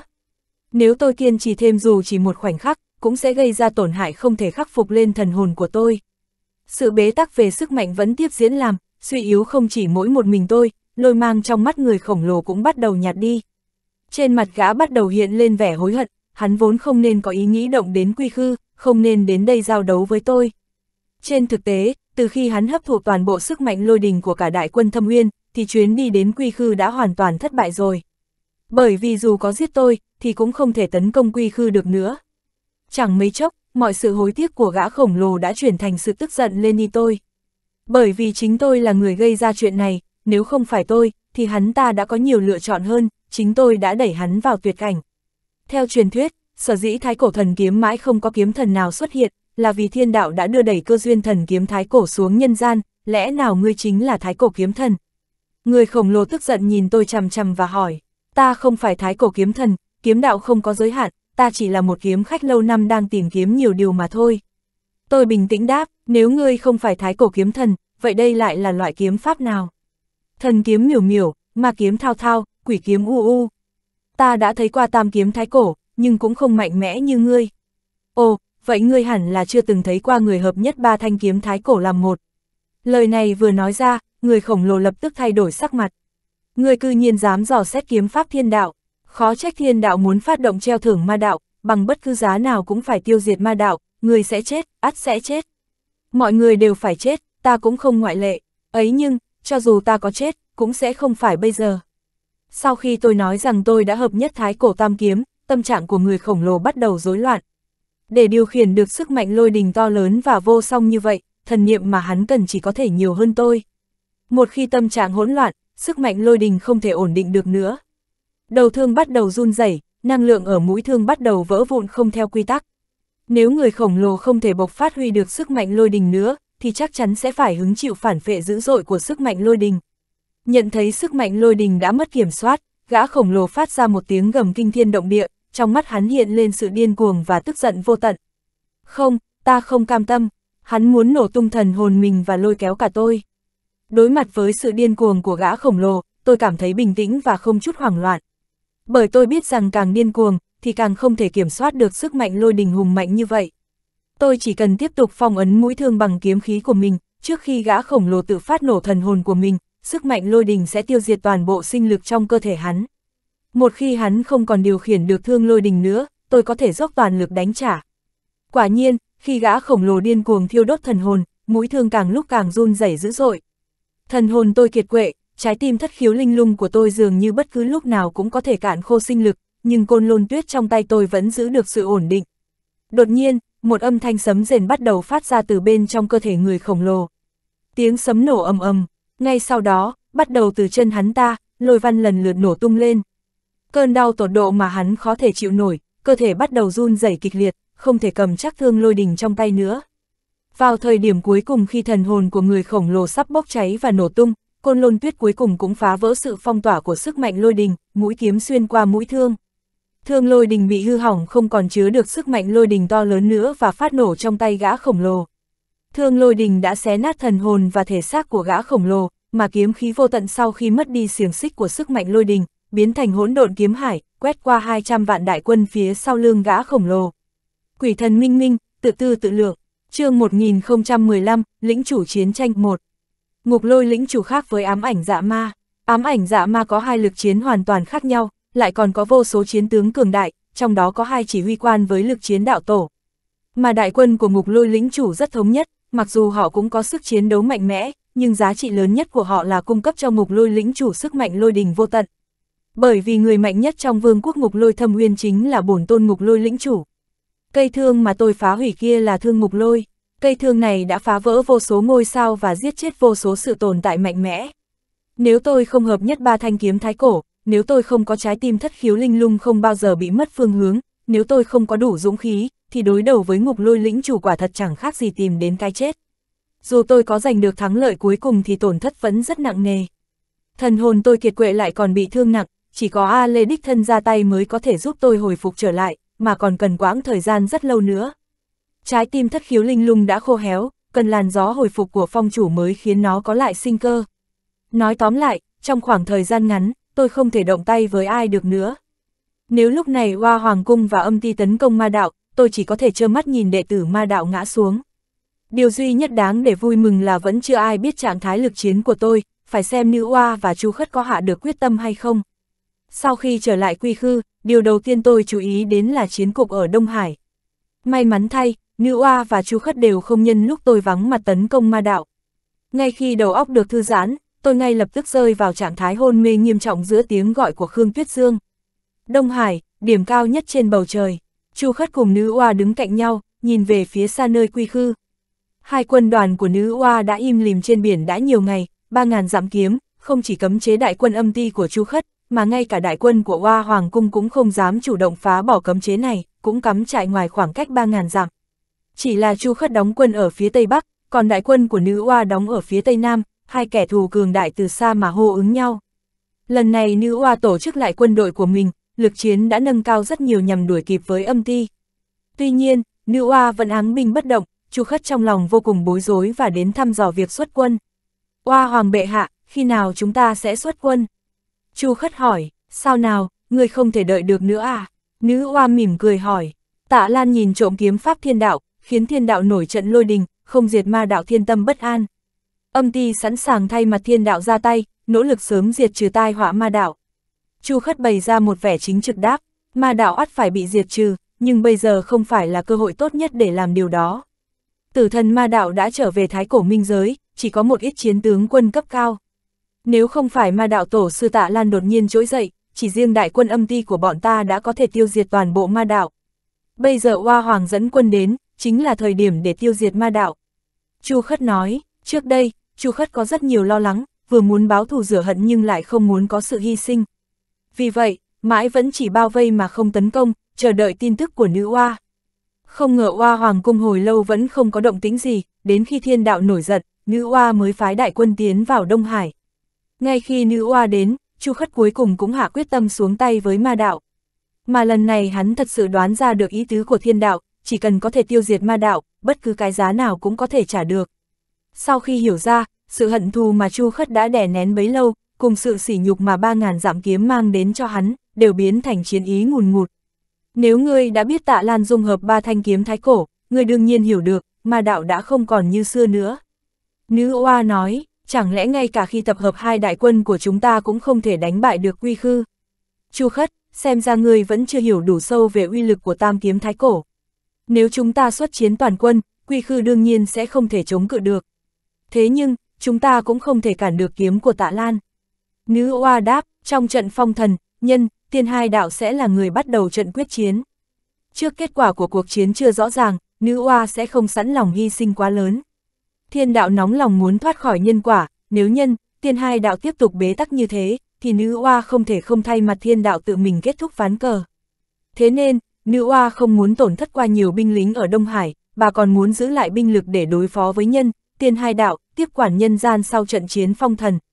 Huống chi, 200 vạn tinh không cử thú cùng 300 vạn vực ngoại thiên ma chính là đại quân mà bà khó khăn lắm mới tập hợp được, nên càng trân trọng hơn trước. Lẽ nào với thần niệm của Hoa Hoàng cũng không thể khống chế được tạ lan sao? Chu Khất kinh ngạc hỏi, chương 1016, lĩnh chủ chiến tranh 2. Thái cổ tam kiếm hợp nhất có thể chém ra hỗn độn kiếm khí. Hơn nữa, kiếm là canh kim, yêu là ất mộc, là tạ lan khắc chế ta. Quân tử bất lập vô nguy tường chi hạ, tức là quân tử không đứng dưới bức tường nguy hiểm, ta sẽ không mạo hiểm thân mình. Nữ oa một lời thừa nhận thẳng thừng, trên thực tế, đây chính điểm thông minh của bà ta. Trong trận phong thần ban đầu, bà ta không chống đối ma đạo vì lo lắng về ma đạo tổ sư. Tam đạo tranh chấp giáo lý, ma đạo tổ sư có lẽ sẽ không dùng đến kiếm cấm chế đối với đạo đức thiên tôn cùng Ngọc Hoàng Đại Đế, thậm chí là với cả cửu u nữ đế, nhưng nếu nữ oa dám động đến ma đạo, ma đạo tổ sư sẽ giết bà. Nguyên do là vì nữ oa là người của thiên đạo, còn ma đạo ngay từ đầu đã là phía đối lập rồi. Vì vậy, nữ oa không muốn tấn công ma đọa một cách hấp tấp khi bà chưa có đủ sự chắc chắn. Cho dù tạ Lan có mạnh đến đâu, hắn vẫn chỉ là một con người. Chu Khất nói, ngươi cũng đừng quên, ma đạo tổ sư của năm đó cũng là một con người. Nếu không phải hắn ta nguyện ý chết ở vực trả hồn, trong tam giới ai có thể làm gì ma đạo. Đảo Kim Ngao cũng sẽ không chìm, Tạ Lan ngày nay chính là ma đạo tổ sư năm đó, thậm chí còn mạnh hơn cả hắn. Chu Khất trầm mặc hồi lâu mới hỏi, vậy chúng ta phải đợi đến khi nào? Thiên đạo đã phát động tiền thưởng tại Vương quốc Thâm Uyên ở hư không vũ trụ, cứ chờ mà xem. Lĩnh chủ hư không mạnh mẽ nhất định sẽ tiếp tục tấn công quy khư. Chỉ cần có người có thể kiềm chế được tạ lan, chúng ta có thể trực tiếp tấn công quy khư. Vậy nếu mãi mà không ai có thể khống chế tạ lan thì sao? Chu Khất hỏi, không đâu, Tạ Lan có một điểm yếu lớn nhất, hắn sẽ không trơ mắt nhìn đệ tử ma đạo chết. Với thực lực của Tạ Lan, có thể dễ dàng tự bảo vệ mình, nhưng dùng thực lực của một mình hắn bảo vệ Quy Khư là điều tuyệt đối không thể làm được. Quy Khư là xiềng xích nặng nhất của hắn, mà hắn cũng đã định sẵn sẽ thân tử đạo tiêu vì Quy Khư. Sau khi nghe Nữ Oa phân tích, Chu Khất mặc dù trong lòng vẫn còn có nghi hoặc, nhưng cũng không nói thêm gì nữa. Tuy nhiên, lần đợi này đã phải chờ rất lâu vẫn không có tin tức gì về việc lĩnh chủ hư không công đánh quy khư. Ngay khi nữ oa cũng đang hoang mang, quyết định đi đến thiên hà để hỏi xem chuyện gì đã xảy ra, thì sứ giả chiến tranh xuất hiện ngay trước mặt cô dưới phương thức như tấm gương phản chiếu thần niệm. Sứ giả chiến tranh tôn kính, người vì điều gì mà đến đây? Nữ oa hỏi, trước đó, trong hư không vũ trụ, Tạ Lan và đại quân ngục lôi thâm uyên đã xảy ra trận đại chiến sứ giả chiến tranh nói. Sứ giả chiến tranh cũng là tính toán ra sau cái chết của ngục lôi minh chủ, chỉ là biết được kết quả cuộc chiến, lại không biết diễn biến cụ thể thế nào. Kết quả của trận chiến như thế nào? Tạ Lan với sức một người đã tiêu diệt ngục lôi minh chủ, đồng thời tiêu diệt cả đại quân 200 vạn của hắn. Trái tim nữ oa giật thót khi nghe điều này, bà ta càng vui mừng vì quyết định của mình là đúng. Nếu bà hấp tấp đi theo chu khất tấn công quy khư, ắt phải có họa sát thân. Người khác thì không biết chiến lực của ngục lôi minh chủ, nhưng bà ta có thể nhờ vào đại trận yêu nhiếp tinh không mà đưa thần niệm xuyên qua vũ trụ hư không, nên đối với chiến lực của ngục lôi minh chủ bà hiểu rất rõ, tuyệt đối không thua kém bà. Tạ Lan bây giờ mạnh như vậy, không biết ai sẽ là vị lĩnh chủ tiếp theo tấn công quy khư. Nữ oa hỏi, người tấn công quy khư tiếp theo đây sẽ là lĩnh chủ chiến tranh, cặp song sinh độc ác của thái cổ chiến thần khi xưa. Có hắn ta dẫn quân tấn công quy khư, tạ Lan nhất định sẽ bị kiềm chế đến cùng. Ý của sứ giả chiến tranh là, vào ngày lĩnh chủ chiến tranh tấn công quy khư, ta muốn cô và chu khất ngay lập tức hợp lực tấn công quy khư. Vâng, thần thông mạnh nhất của thái cổ chiến thần chính là đạo chiến thần, đạo chiến thần có thể dò xét được thiên cơ, bày binh bố trận nhằm chế ngự kẻ địch mà không bị kẻ địch chế ngự ngược lại. Thân là cặp song sinh tà ác của thái cổ chiến thần, chiến tranh lĩnh chủ cũng đều sở hữu khả năng tương tự. Mặc dù chiến lực không đứng đầu trong số các lĩnh chủ hư không, nhưng với pháp tắc sử dụng không thời gian, ngay cả cấp độ tồn tại là thái cổ thần vương thì cũng không thể dễ dàng thoát khỏi pháp trận hắc ám lao lung của hắn. Vì vậy, khi nữ oa nghe tin chiến tranh lĩnh chủ sắp đến, nữ oa đã gạt bỏ mọi sự ủ rũ trong mình. Ngay khi tin tức về cuộc chiến quy khư xuất hiện, bà ta ngay lập tức hợp lực với Chu Khất để tấn công quy khư. chương 1017, Kiêm Hà quay về một. Lần trước khi Kiêm Hà rời đi, huyền quan huyễn ma có dấu hiệu dung hợp với thế giới chủ nhân gian do đã cạn kiệt ma ý, sự trở lại lần này của Kiêm Hà lần này đã gây ra dao động năng lượng mạnh mẽ, khiến kết giới huyền quan vốn đã mỏng yếu nay hoàn toàn sụp đổ. Vì vậy, khi Kiêm Hà bước khỏi điện vạn ma ở sâu dưới lòng đất, thứ cô nhìn thấy đầu tiên chính là bầu trời của nhân gian. Bầu trời vẫn trong xanh như xưa, mây trắng trôi xa ngàn dặm, chân thực lại đẹp đẽ. Điều này hoàn toàn khác với thái cổ ma giới tràn ngập ma ý, thái cổ ma giới không có bầu trời xanh trong, cũng mây bạc trắng, núi cao cùng làn nước trong vắt, tất cả đều bị bao trùm bởi ma ý, vặn vẹo tà ác. Mà ma tộc sống trong thái cổ ma giới sẽ không bao giờ có tình cảm như con người. Ma, tượng trưng cho sự hỗn loạn và tà ác, dù có chủng tộc riêng mình nhưng cũng không quá nhiều tình cảm. Bởi vì mai không cần cảm xúc để tồn tại, điều quan trọng nhất giúp chúng có thể cùng sinh tồn chính là sự cộng hưởng của huyết mạch. Ma cũng có tình, nhưng tình cảm của chúng liên quan mật thiết đến sự sinh tồn. Nhưng điều đó không có nghĩa là tất cả ma đều vô tình, Kiêm Hà là một ngoại lệ, thánh nữ huyễn ma hiểu lộ cũng vậy. Giữa ảo ảnh và thực tế chỉ là một ranh giới mỏng manh, những huyễn ma biết được làm thế nào để mê hoặc lòng người nhất, cũng là ma tộc dễ động tình nhất. Sau khi Kiêm Hà đi ra khỏi điện vạn ma, điện vạn ma sau lưng đã sụp đổ ngay lập tức. Điều này chứng tỏ tọa độ của thái cổ ma giới ở nhân giới đã hoàn toàn biến mất, nếu sau này Kiêm Hà muốn quay trở về, cô chỉ có thể không ngừng tìm kiếm trong hư không vũ trụ. Kiêm Hà không vì thế mà cảm thấy lạc lõng vì trong lòng cô đã lưu lại tọa độ. Sau khi bước ra khỏi huyền quan, Kiêm Hà đã đến đầm đào hoa. Kiêm gia thương thương, bạch lộ vi xương, sở vị y nhân, tại thủy nhất phương. Dịch nghĩa là, lau lách mơn mởn xanh tốt, móc trắng làm xương, người mà mình nói đến thì ở về một phương nào của vùng nước mênh mông. Nhìn xương trắng trên đầm đào hoa, Kiêm Hà trầm tư hồi lâu, vẻ mặt có chút hoang mang. Cô ấy đã đi bao lâu rồi? Mơ hồ nhớ rằng mình lúc rời đi đã làm trái tim anh ấy tổn thương nặng nề, không biết liệu anh ấy có còn ghét mình không? Lần này cô trở lại là để thuyết phục ba vị chủ thần mạnh nhất khi xưa quay trở lại thái cổ thần giới, chấn chỉnh vạn tộc thần giới và phát động cuộc chiến phục thù thiên đạo. Thế nhưng, việc này không dễ thực hiện, bởi vì cô chỉ biết ba vị chủ thần mạnh nhất đang ở nhân giới, nhưng cô không biết họ đã thức tỉnh bao nhiêu vận mệnh và liệu có sẵn lòng quay trở lại thái cổ thần giới hay không. Trong ba vị chủ thần, Kiêm Hà không biết nhiều về thái cổ lôi thần vì ông ta quá xa xưa. So với kiếm thần sát phạt vô song, cô càng hy vọng chiến thần sẽ trở về thái cổ ma giới trong tương lai. Bởi vì thần kiếm vô thần, nhưng chiến thần lại khôn ngoan. Kiêm Hà chỉ biết rằng ba vị chủ thần mạnh nhất đang ẩn náu trong nhân gian, nhưng không biết danh tính hiện tại của họ. Tất nhiên, cô có thể đoán rằng mộ dung nguyên Duệ là ứng cử viên sáng giá nhất cho vị trí thái cổ chiến thần, bởi vì cô đã bộc lộ đạo chiến thần từ rất sớm. Về phần kiếm thần và lôi thần là ai, cô cũng không rõ.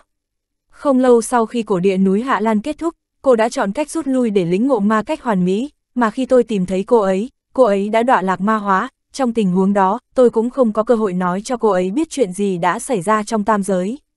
Vì vậy, Kiêm Hà không biết loạn thiên đình, mộ dung nguyên duệ đã thức tỉnh mệnh số thái cổ chiến thần, cũng không biết rằng Lữ Thuần Dương và đầu mẫu nguyên quân cũng lần lượt thức tỉnh.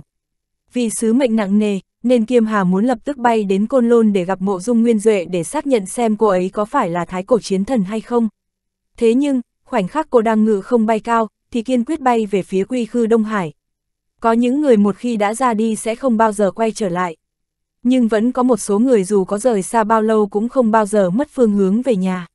Lúc ở núi Thánh Ma Kiêm Hà đã từng nói rằng, cô sẽ không trở thành ma đế, vì thái cổ ma giới từng thuộc về cô, nhưng giờ trái tim cô đã ở nơi khác. Đối với Kiêm Hà mà nói, Quy Khư là ngôi nhà thực sự của cô, bởi vì ở Quy Khư có những người mà cô vô cùng nhớ thương. Một ngày sau, Kiêm Hà đã đến Đông Hải. Đông Hải vẫn vô tận, bao la và hùng vĩ hơn bao giờ hết, nước biển trong xanh. Tuy nhiên, rất nhanh cô đã phát hiện hai luồng khí hủy diệt mạnh mẽ và phi thường. Cô ngay lập tức cảm nhận được khí thế của quân âm ti ở phía bắc và cảm nhận được sát khí quân uy của họ. Sát khí quân uy do âm ti bộc lộ khiến cô bị sốc, bởi vì luồng năng lượng này đã vượt qua cả liên quân của huyễn ma và thương ma, thậm chí còn không yếu hơn bao nhiêu so với liên minh 12 cường ma mà cô đã thành lập ở thái cổ ma giới. Mà ở phía nam vẫn còn có một đại quân sát khí không thua gì âm ti. chương 1018, Kiêm Hà quay về 2. Kiêm Hà bây giờ không chắc hai đại quân phía Bắc và phía Nam có thuộc về thế lực trong tam giới hay không, nhưng cô chắc chắn rằng hai đại quân này mạnh hơn ma đạo rất nhiều. Vậy nên, Kiêm Hà không còn vội vã quay về quy khư nữa, mà tách thành hai luồng thần niệm để lặng lẽ do thám phía Bắc và phía Nam. Không mất nhiều thời gian, cô biết được sự thật, hai đội quân này, một thuộc về âm ti và một thuộc về Hoa Hoàng Cung, cả hai đều đến để tiêu diệt quy khư. Lần này âm ti sử dụng toàn bộ sức mạnh của mình, vô số thiên tôn, đạo tổ tề tựu, âm binh quỷ tướng ngàn vạn. Bắc âm đại đế Chu Khất đích thân dẫn quân, địa tạng vương thiên tôn cũng rời khỏi tầng địa ngục thứ 18 để gia nhập quân đội thảo phạt ma đạo. Chiến lực mạnh mẽ của âm ti không chỉ nhiều về mặt số lượng mà còn về mặt pháp trận và các pháp bảo trấn áp địa ngục ở âm ti. Ngay cả Kiêm Hà hiện đã được thăng cấp thành đạo tổ mạnh nhất, cũng sẽ không dám để lộ khí tức của mình trước quân âm ti, chỉ riêng sát khí sát phạt của đại quân đã không phải là thứ hiện giờ cô có thể chịu đựng. Mà so với âm ti, hai quân đoàn của nữ oa cũng không hề yếu chút nào. Sau khi mất lá cờ chiêu yêu, nữ oa lại tế luyện hai pháp bảo. Một cái là cờ tinh vân vạn thú có thể trấn áp tinh không cự thú, hai là cờ hư không tụ ma có thể khống chế vực ngoại thiên ma. Dưới lá cờ tinh vân vạn thú, tinh không cự thú lặng lẽ ẩn náu trong làn nước, nhưng với hơi thở của chúng, sức mạnh hủy diệt vô tình được phóng ra, cũng đủ để gây ra sự hỗn loạn vô tận khắp đất trời. Vực ngoại thiên ma dưới lá cờ hư không tụ ma, ma ý tràn ngập bầu trời, làm ô nhiễm toàn bộ không khí. Gió giật dữ dội và mây đen cuồn cuộn, người mạnh nhất chính là nữ oa bổn tôn, uy áp thần niệm của bà vượt xa so với đạo tổ mạnh nhất, kiếm thần niệm của Kiêm Hà không có nơi nào để trốn trước khi đến gần, chỉ có thể cắt đứt ngay từ nguồn cơn thần hồn. Nếu không, cô sẽ bị nữ oa truy tìm đến sự tồn tại của bổn tôn. Trên thực tế, với sức chiến đấu hiện tại của Kiêm Hà, cô ấy chắc chắn có khả năng đối kháng với nữ oa. Toàn bộ 13 tầng huyễn ảnh đều dùng cả, thì ngay cả cửu u nữ đế cũng không thể giết được cô ấy. Tuy nhiên, nữ oa không phải là người duy nhất mà Kiêm Hà phải đối mặt, chưa kể còn có một âm ti đang như hổ rình mồi theo dõi từ phía bên kia. Sau khi phát hiện ra lai lịch của hai đội quân phía Bắc và phía Nam, Kiêm Hà vừa ngạc nhiên vừa tức giận, trong lòng cô vô cùng lo lắng cho ma đạo, bởi vì cô hiểu rõ nhất sức mạnh của ma đạo. Không dám ở lại lâu nữa, cô ẩn thân, biến thành một con chim biển màu đen, bay về phía đỉnh viện quần tinh bắt đầu. Khi cô đang chiến đấu ở thái cổ ma giới, nghĩ rằng mình đã đủ mạnh mẽ, trong tương lai có thể tự đảm đương một mặt giúp ma đạo. Chỉ sau khi lần này quay lại nhân gian, mới nhận ra sát ý của thiên đạo với ma đạo nặng nề đến mức nào. Chỉ cần nhìn hai đại quân trước mặt, sẽ phải cần đến tất cả binh lính của 12 chi lưu ma tộc của thái cổ ma giới mới có thể đối đầu được. Mà ma đạo dựa vào đâu để đánh trận đây? Con chim biển đen do kiêm hà hóa thành đang bay trong cơn bão, cẩn thận tránh những cuộc do thám thần niệm xen kẽ nhau của âm ti và hoa hoàng cung. Đợi khi cô bay đến phạm vi cách đình viện bắt đầu 3.000 dặm, tất cả sương mù và sát ý đều biến mất ngay lập tức, bầu trời và mặt đất trở nên trong xanh trở lại. Điều này khiến cô vô cùng bối rối, tại sao ở đây lại bình yên đến thế? Còn một sự ngỡ ngàng khác nữa, đình viện bắt đầu rõ ràng rất gần, vì sao âm ti cùng hoa hoàng cung vẫn áng binh bất động. Kiêm Hà tiếp tục bay về phía đình viện bắt đầu, khi cô bay thêm về phía trước được vài trăm dặm, cô nhận thấy một cỗ thần niệm sắc bén đang cố khóa lấy khí thức của cô. Luông thần niệm này rất rõ ràng là do cấp bậc đạo tổ phát ra, với cảnh giới hiện tại của Kiêm Hà, đương nhiên có thể dễ dàng tránh được. Tuy nhiên, cô đã né được một, ngay sau đó lại bay đến thêm một luồng nữa. Một trong số đó đến từ gió, không nơi nào không có gió, luồng thần niệm này rất khó tránh được. Kiêm Hà cẩn thận dùng tim cảm nhận, rất nhanh đã đoán ra luồng thần niệm đó đến từ phong chủ, phong thập bát, mà luồng thần niệm thăm dò trước đó có lẽ là của Nguyệt thần A Lê. Có vẻ như A Lê không thể khóa được thần niệm của Kiêm Hà từ khoảng cách xa nên đã nhờ đến phong chủ giúp đỡ. Nhận ra họ chính là hai đồng bào cũ, trong lòng Kiêm Hà có chút ấm áp. Sự hiện diện của họ có nghĩa là ma đạo hiện vẫn đang yên ổn không hề hấn gì. Tuy nhiên, Kiêm Hà chưa kịp dùng thần niệm hồi âm, một kiếm ý mãnh liệt đã bắn ra từ đình viện bắt đầu. Thần kiếm miểu miểu, ư vô thanh sứ thính kinh lôi. Kiếm khí trong nháy mắt bay tới và nổ tung trước mặt Kiêm Hà, gây ra hàng nghìn đợt sóng. Sau đó một giọng nói trẻ con vang lên, trong vòng 3.000 dặm, kẻ nào xâm phạm lãnh thổ ma đạo, giết không tha. chương 1019, quyết chiến trên biển 1. Thuần quân không biết Kiêm Hà, A Lê và Phong chủ cũng không nhận ra khí thức của Kiêm Hà. Quan trọng nhất là, không ai ngờ được người đến sẽ là cô ấy. Tất nhiên, phía Kiêm Hà cũng không biết đến sự tồn tại của thuần quân. Tuy rằng kiếm khí thần kiếm của thuần quân không tổn hại đến Kiêm Hà, nhưng gợn sóng mà kiếm khí phóng ra vẫn cản trở bước chân của Kiêm Hà. Với cảnh giới hiện giờ của cô ấy, nếu thuần quân muốn đánh cô ấy bị thương là chuyện khá khó khăn, chẳng qua là Kiêm Hà rất quý trọng danh dự, con chim hoét đen do cô ấy biến thành lướt trên làn sóng, tuy tốc độ nhanh như chớp, nhưng để A Lê nhận ra quỹ đạo di chuyển. Chưa kịp đợi làn sóng quay về bình ổn trở lại, A Lê đã khóa chặt khí cơ của Kiêm Hà, sau đó ngắm chuẩn mục tiêu bắn ra một mũi tên. Từ lúc A Lê nắm vững toàn bộ áo nghĩa của Nguyệt Chi ám diệt, mỗi mũi tên bắn ra càng lúc càng có uy lực uy diệt. Mũi tên xé tan không khí, cả không gian như bị bóp méo. Trên mặt biển trải dài 2.000 dặm, sóng nước đi kèm với sức công phá của mũi tên, tựa như con rồng nước gào thét lao tới. Tốc độ của mũi tên nhanh đến thế nào, thì tốc độ của con rồng nước cũng nhanh như thế đấy. Mũi tên này, A Lê đã kết hợp hai loại áo nghĩa. Một loại là mũi tên hủy diệt bóng đêm của hình thái Nguyệt Ma, một loại phủ thêm chiều tịch lưu trên thân mũi tên. Trong tương lai các cuộc chiến của ma đạo đa phần đều sẽ nổ ra trên mặt biển, vì thế nên A Lê mới sáng tạo ra loại công kích thần thông này, một công đôi việc. Sát cơ của mũi tên hủy diệt bóng đêm rất đáng sợ, con rồng nước do áo nghĩa của triều tịch tạo ra cũng vô cùng lợi hại. Mũi tên này mạnh bao nhiêu, thì uy lực hủy diệt của rồng nước mạnh bấy nhiêu. Chỉ cần là cuộc quyết chiến trên biển, mũi tên này của A Lê có thể sáng ngang với đòn tấn công của hai đạo tổ. Với lại đây không chỉ là cấp bậc đạo tổ bình thường, là hai đòn công kích chồng chéo lên nhau, vừa hạ bút thành văn, đã có được uy lực của trí cường đạo tổ. Lúc A Lê bắn ra mũi tên kia, tay áo của phong chủ hất lên một cái, tanh phong trên biển đều tập hợp dưới làn váy của cô ấy. Giải thích từ tanh phong nghĩa là ngọn gió có mùi tanh hôi, hoặc là làn không khí hung tàn đáng sợ. Hết giải thích, cửu vạn lý thương khung, ngự phong lộng ảnh, bạo phong chi nhãn. Phong chủ vừa dứt câu, một luồng lốc xoáy từ trong tay áo cô ấy phóng ra. Luồng lốc xoáy vừa xuất hiện, đã ngay lập tức tạo nên một trận hỗn loạn, khiến trời long đất lỡ. Lác cắt không khí phát ra những âm thanh chói tai. Bạo phong chi nhãn không bay thẳng đến chỗ kiêm hà, treo lơ lửng trước mặt thuần quân. Sau khi thuần quân phóng ra kiếm khí thần kiếm, bèn hít một hơi sâu, hóa thành thanh kiếm khổng lồ, lao vào trong lốc xoáy. Lốc xoáy của phong chủ, đã nhắm chuẩn khí cơ của Kiêm Hà, có thể giúp thuần quân xác định chính xác vị trí của Kiêm Hà. Uy lực hủy diệt của ngự kiếm thuần quân vô cùng lợi hại, nhưng tốc độ đương nhiên không sánh bằng người khác.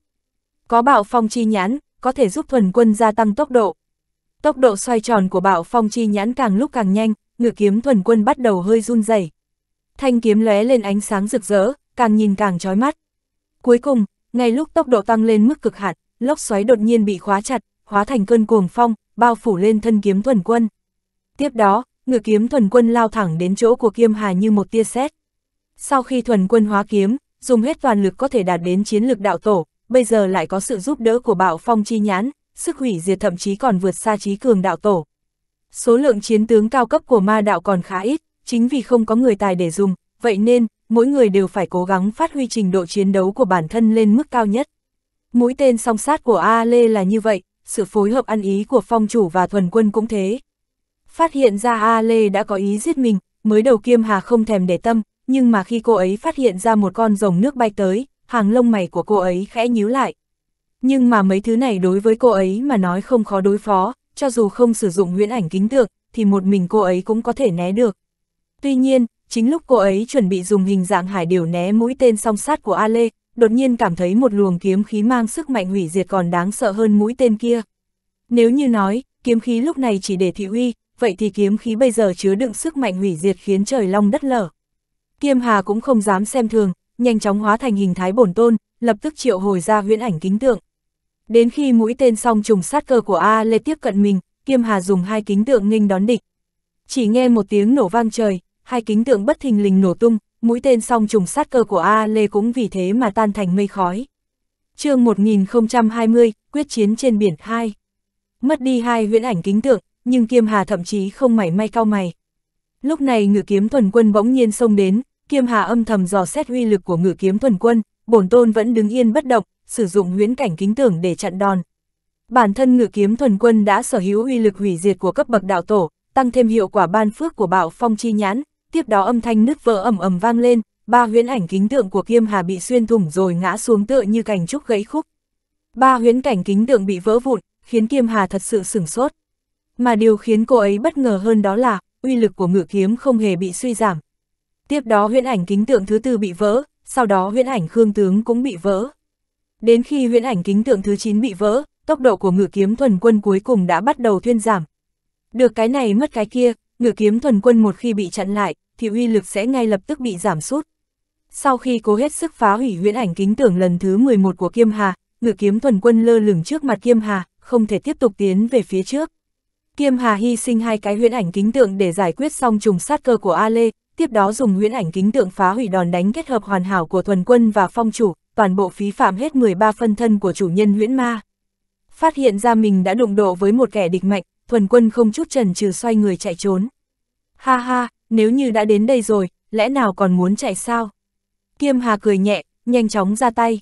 Lúc này thuần quân vừa xoay người, đuôi kiếm hướng về phía Kiêm Hà, bị cô ấy nắm chặt, muốn vùng vẫy thoát ra tất nhiên không thể làm được.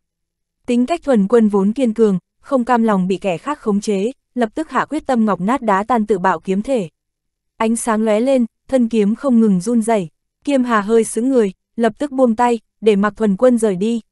Quả là một thanh kiếm khí phách, Kiêm Hà khen thưởng, lúc thuần quân quay về, phong chủ và A Lê đã nhanh chóng chạy tới tương cứu. Ba người chạm mặt nhau ở giữa đường, thuần quân hóa thành hình người. Phong chủ, nhanh chóng phát tín hiệu cảnh báo, kẻ địch này rất lợi hại, không phải người chúng ta có thể ứng phó nổi. Thuần quân nói, Bắc Minh tướng quân đã đến rồi. Phong thập bát nói, lời vừa dứt, đã thấy một người đàn ông mặc đồ đen mang theo quỷ khí âm u bay tới từ đình viện bắt đầu quần tinh. Toàn thân mặc giáp đen tuyền, sau lưng vác tứ diện long hồn hạo kỳ, trong tay cầm chặt hắc kiếm như vừa mới từ địa ngục ngoi lên. Sau lưng người đàn ông đó, còn có một bóng người giống hệt ông ấy. Cũng có quỷ khí MT, thần niệm uy áp vô cùng mạnh mẽ, chỉ là mặt mũi bị sương mù che khuất, không nhìn rõ tướng mạo. Sau khi quỷ kiếm của Bắc Minh Tú đạt đến trình độ hoàn mỹ, đã bắt đầu lĩnh ngộ được áo nghĩa của tử nhân kinh, muốn thử hợp nhất với quỷ kiếm. Cuối cùng ông ấy đã bỏ đi năng lực bảo vệ mạng sống của tử nhân kinh, luyện ra một quỷ ảnh có chiến lực ngang bằng bổn tôn, đồng thời giúp chiến lực của ông ấy gia tăng đến cảnh giới đạo tổ. Quỷ ảnh hơi lắc lư, tuy rằng không thể sáng ngang với thần thông nhất khí hóa tam thanh sao như ma đạo tổ sư, nhưng mà vẫn mạnh hơn huyễn ảnh kính tượng của Kiêm Hà. Sao nhất khí hóa tam thanh là thần thông biến hóa ra ba loại ảo giác khác nhau mê hoặc kẻ thù. Dù gì thì xét về chiến lực hay sức phòng ngự của huyễn ảnh kính tượng của Kiêm Hà đều kém xa bổn tôn, cần phải nhờ trận pháp hỗ trợ mới đủ sức phát huy năng lực. Mà quỷ ảnh của Bắc Minh Tú lại giống hại bản thân ông ấy, điểm khác biệt duy nhất, đó là quỷ ảnh là vật chết, trong người chỉ có bản năng tấn công kẻ địch chứ không có linh thức. Nhìn thấy Bắc Minh Tú trực tiếp gọi quỷ ảnh đến tương trợ, trong lòng ba người kia cũng xem như thở phào một hơi. A Lê, Thuần Quân, Phong Chủ, thêm Bắc Minh Tú, bốn người hợp sức đã có khả năng giết chết bất cứ kẻ địch cấp bậc trí cường đạo tổ nào. Thậm chí, cho dù kẻ thù có đạt đến cảnh giới trí tôn vượt qua trí cường đạo tổ như nữ oa, bọn họ vẫn có lòng tin mình sẽ xoay chuyển được tình thế. Kiêm Hà cũng phát hiện ra thần niệm của Bắc Minh Tú, trong lòng bỗng nhiên cảm thấy được an ủi phần nào. Khó trách MT và cung hoa hoàng cứ mãi trần trừ ám binh bất động, thì ra không biết từ khi nào chiến tướng ma đạo đã mạnh đến mức này rồi. Cô ấy có thể nhẹ nhàng hạ gục thuần quân, A Lê, và phong chủ, nhưng nếu bây giờ thêm một Bắc Minh Tú, thì bắt buộc phải dùng toàn lực ứng phó rồi. Mà thiên phú của A Lê vẫn còn chưa được khai phá hết, đợi A Lê lớn thêm một chút nữa, nếu có thể dung hợp thần tính song diện của Thái Cổ Nguyệt Thần, sức mạnh chiến đấu sẽ còn tăng lên vượt trội hơn nữa. Tuy rằng trong Thái Cổ Thần giới thì vị trí của Thái Cổ Nguyệt Thần xếp sau ba vị chủ thần là Thái Cổ Chiến Thần, Thái Cổ Kiếm Thần, nhưng không phải bởi vì sức mạnh hủy diệt của Nguyệt Thần kém xa họ, mà vì Nguyệt Thần có một khuyết điểm lớn là chỉ giỏi về tấn công chứ không giỏi phòng thủ, một khi bị kẻ địch tiếp cận ở cự ly gần, liền không thể tiếp tục phát huy uy lực vốn có của cung tiễn. Nguyên nhân nằm ở chỗ bản thân cung tiễn đã là vũ khí tầm xa, khoảng cách càng xa thì lực công kích càng mạnh, càng thoải mái thi triển năng lực. Nhưng ngược lại nếu địch đứng ở khoảng cách gần, thì chiến lực rất khó phát huy toàn điện. Kiêm Hà vô cùng tán thưởng sức mạnh hiện giờ của họ, đồng thời cũng âm thầm cảm thấy tự hào thay cho đệ tử ma đạo.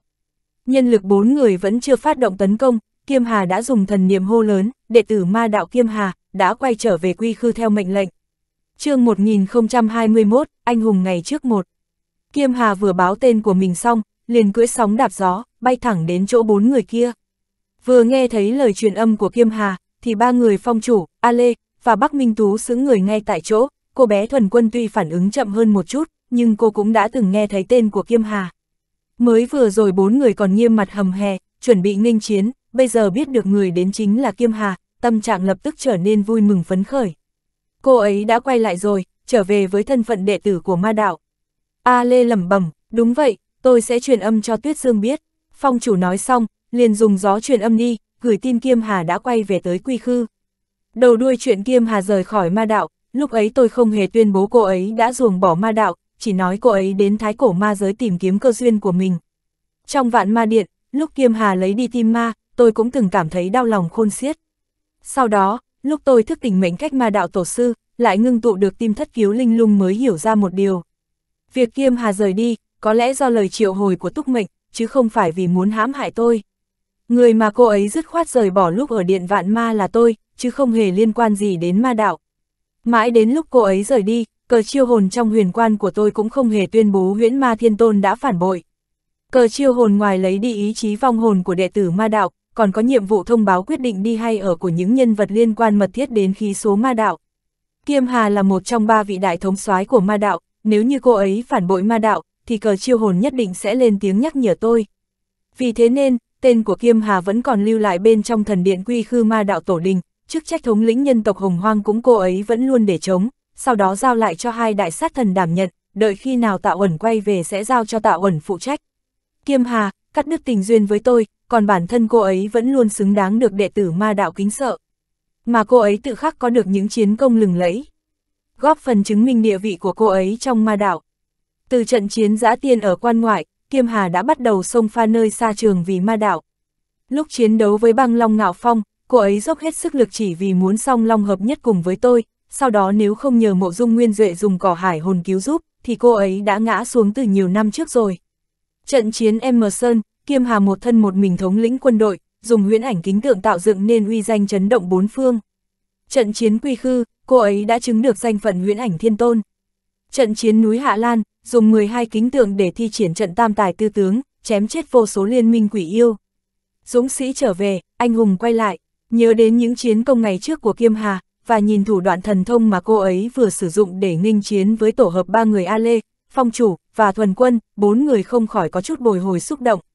Lúc Phong Chủ truyền âm đến chỗ Khương Tuyết Dương, Bắc Minh Tú bay tới phía trước 10 trượng 100 thước khom người quỳ một chân xuống rồi triệu hồi ra 400 vạn đại quân vong hồn. Lúc này đây một nửa quân số của đại quân vong hồn đều là tân binh được lựa chọn sau khi trải qua thảm họa trời giáng xuống, lần đầu tiên họ được triệu tập, còn tưởng rằng có kẻ địch ghé thăm, khó tránh khỏi có chút căng thẳng. Bắc Minh Tú thở dài một hơi, đây chính là điểm khác biệt giữa ông ấy và Thùy Họa, nếu như Thùy Họa thống lĩnh vong hồn, tuyệt đối sẽ không xảy ra tình trạng xấu hổ như vậy. Thần uy của tử thần có thể khiến đệ tử vong hồn ma đạo cảm thấy kính sợ từ tận đáy lòng, rất có hiệu quả trong việc dẫn dắt quân đội. Trái lại dù cho Bắc Minh Tú sở hữu quỷ kiếm vô song, nhưng cũng không thể làm chủ ý chí vong linh, binh lính có đã trải qua hàng trăm trận chiến tất nhiên sẽ không hề sợ hãi, thế nhưng những tân binh này chắc chắn phải có chút tay chân luống cuống rồi. Đợi sau khi đại quân vong hồn đã xếp hàng đâu vào đấy, khí thế quân uy cuối cùng cũng được đúc kết lại. Bắc Minh tướng quân, quân địch đang đứng ở đâu? Một vị chiến tướng vong hồn cấp cao bước từ trong long hồn hạo kỳ bỗng cất tiếng hỏi. Người đến đây không phải kẻ địch, mà là kiêm hà thống soái đã trở về rồi. Bắc Minh Tú nói, Kiêm Hà thống soái cô ấy đang ở đâu? Vị chiến tướng vong hồn cấp cao vừa nghe thấy điều đó đã giật mình hét lên. Đang tiến về phía chúng ta. Bắc Minh Tú chỉ về phía vùng biển hướng đông đáp. Chiến tướng vong hồn cấp cao ngẩng đầu nhìn về hướng đông, thần sắc cung kính, bắt đầu chỉnh sửa lại trang phục. Tiếp đó Bắc Minh Tú truyền lệnh cho 400 vạn đại quân vong hồn, thông báo cho họ biết việc Kiêm Hà đã trở về. chương 1022, Anh hùng ngày trước 2. Trong 400 vạn đại quân vong hồn, có rất nhiều người không biết đến xuất thân của tướng quân Kiêm Hà, bèn dùng thần niệm dò hỏi mấy vị kỳ cựu bên cạnh mình. Lúc biết Kiêm Hà chính là thống soái nhân tộc Hồng Hoang ngày trước, chiến công chỉ xếp sau thái cổ tử thần, thì họ liền lập tức đứng nghiêm cung kính. Người có tên, cây có bóng sao. Sao, danh tiếng của một người rất quan trọng, cũng giống như bóng dâm luôn đi kèm với thân cây. Sự trở về của huyễn ma thiên tôn Kiêm Hà, tất nhiên xứng để Bắc Minh Tú triệu hồi 400 vạn đại quân ra nghênh đón rồi. Ma đạo, quy khư, lúc Khương Tuyết Dương vừa nghe tin Kiêm Hà đã trở về, suýt chút nữa đã bóp nát cấm bộ trong tay. Kiêm Hà bế quan vì ngưng tự ma cách tinh khiết, hôm nay cô ấy đã trở về, chắc hẳn ma cách tinh khiết đã được ngưng tụ thành công, nếu không với thân phân ma tộc của cô ấy tuyệt nhiên sẽ không tự xưng là đệ tử ma đạo rồi. Ma đạo không phân biệt chủng tộc, ý đang chỉ chúng sinh trong lục đạo.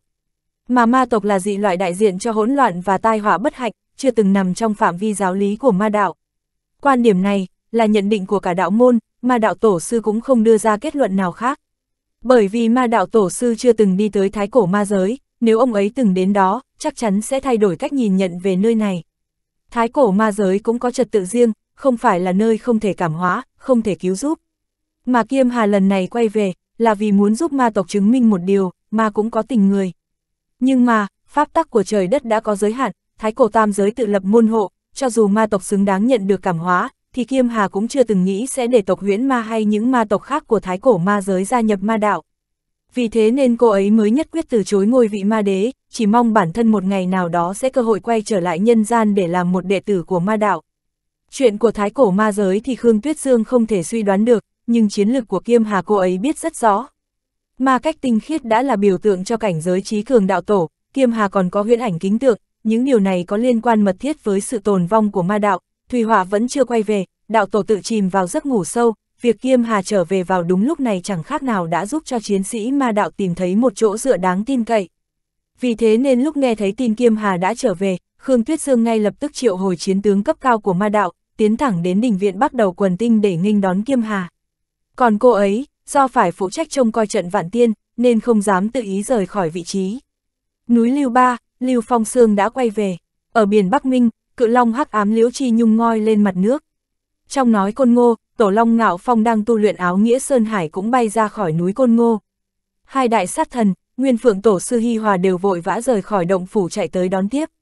Kiêm Hà đã trở về rồi, các vị phải dùng lòng thành kính trọng nhất, để hoan nghênh thống soái nhân tộc của ma đạo trở về quy khư. Khương Tuyết Dương gióng giặc hét lớn nói, cô ấy không thể đi đón tiếp, vì cô ấy còn phục trạch trông coi sự chuyển động của trận vạn tiên. Ngoài hai kẻ thù truyền kiếp là MT và Cung Hoa Hoàng gia, thì phía trên quy khư, ma đạo còn phải luôn cảnh giác đại nạn do đại quân thâm uyên giáng xuống, một khắc cũng không dám rời khỏi đó. Dạ, các chiến tướng khom người nhận lệnh, đình viện bắt đầu quần tinh, vùng biển phía đông. Sau khi phát hiện ra khí thức của đại quân vong hồn ma đạo, Kiêm Hà từ từ hạ người xuống, lướt trên mặt nước.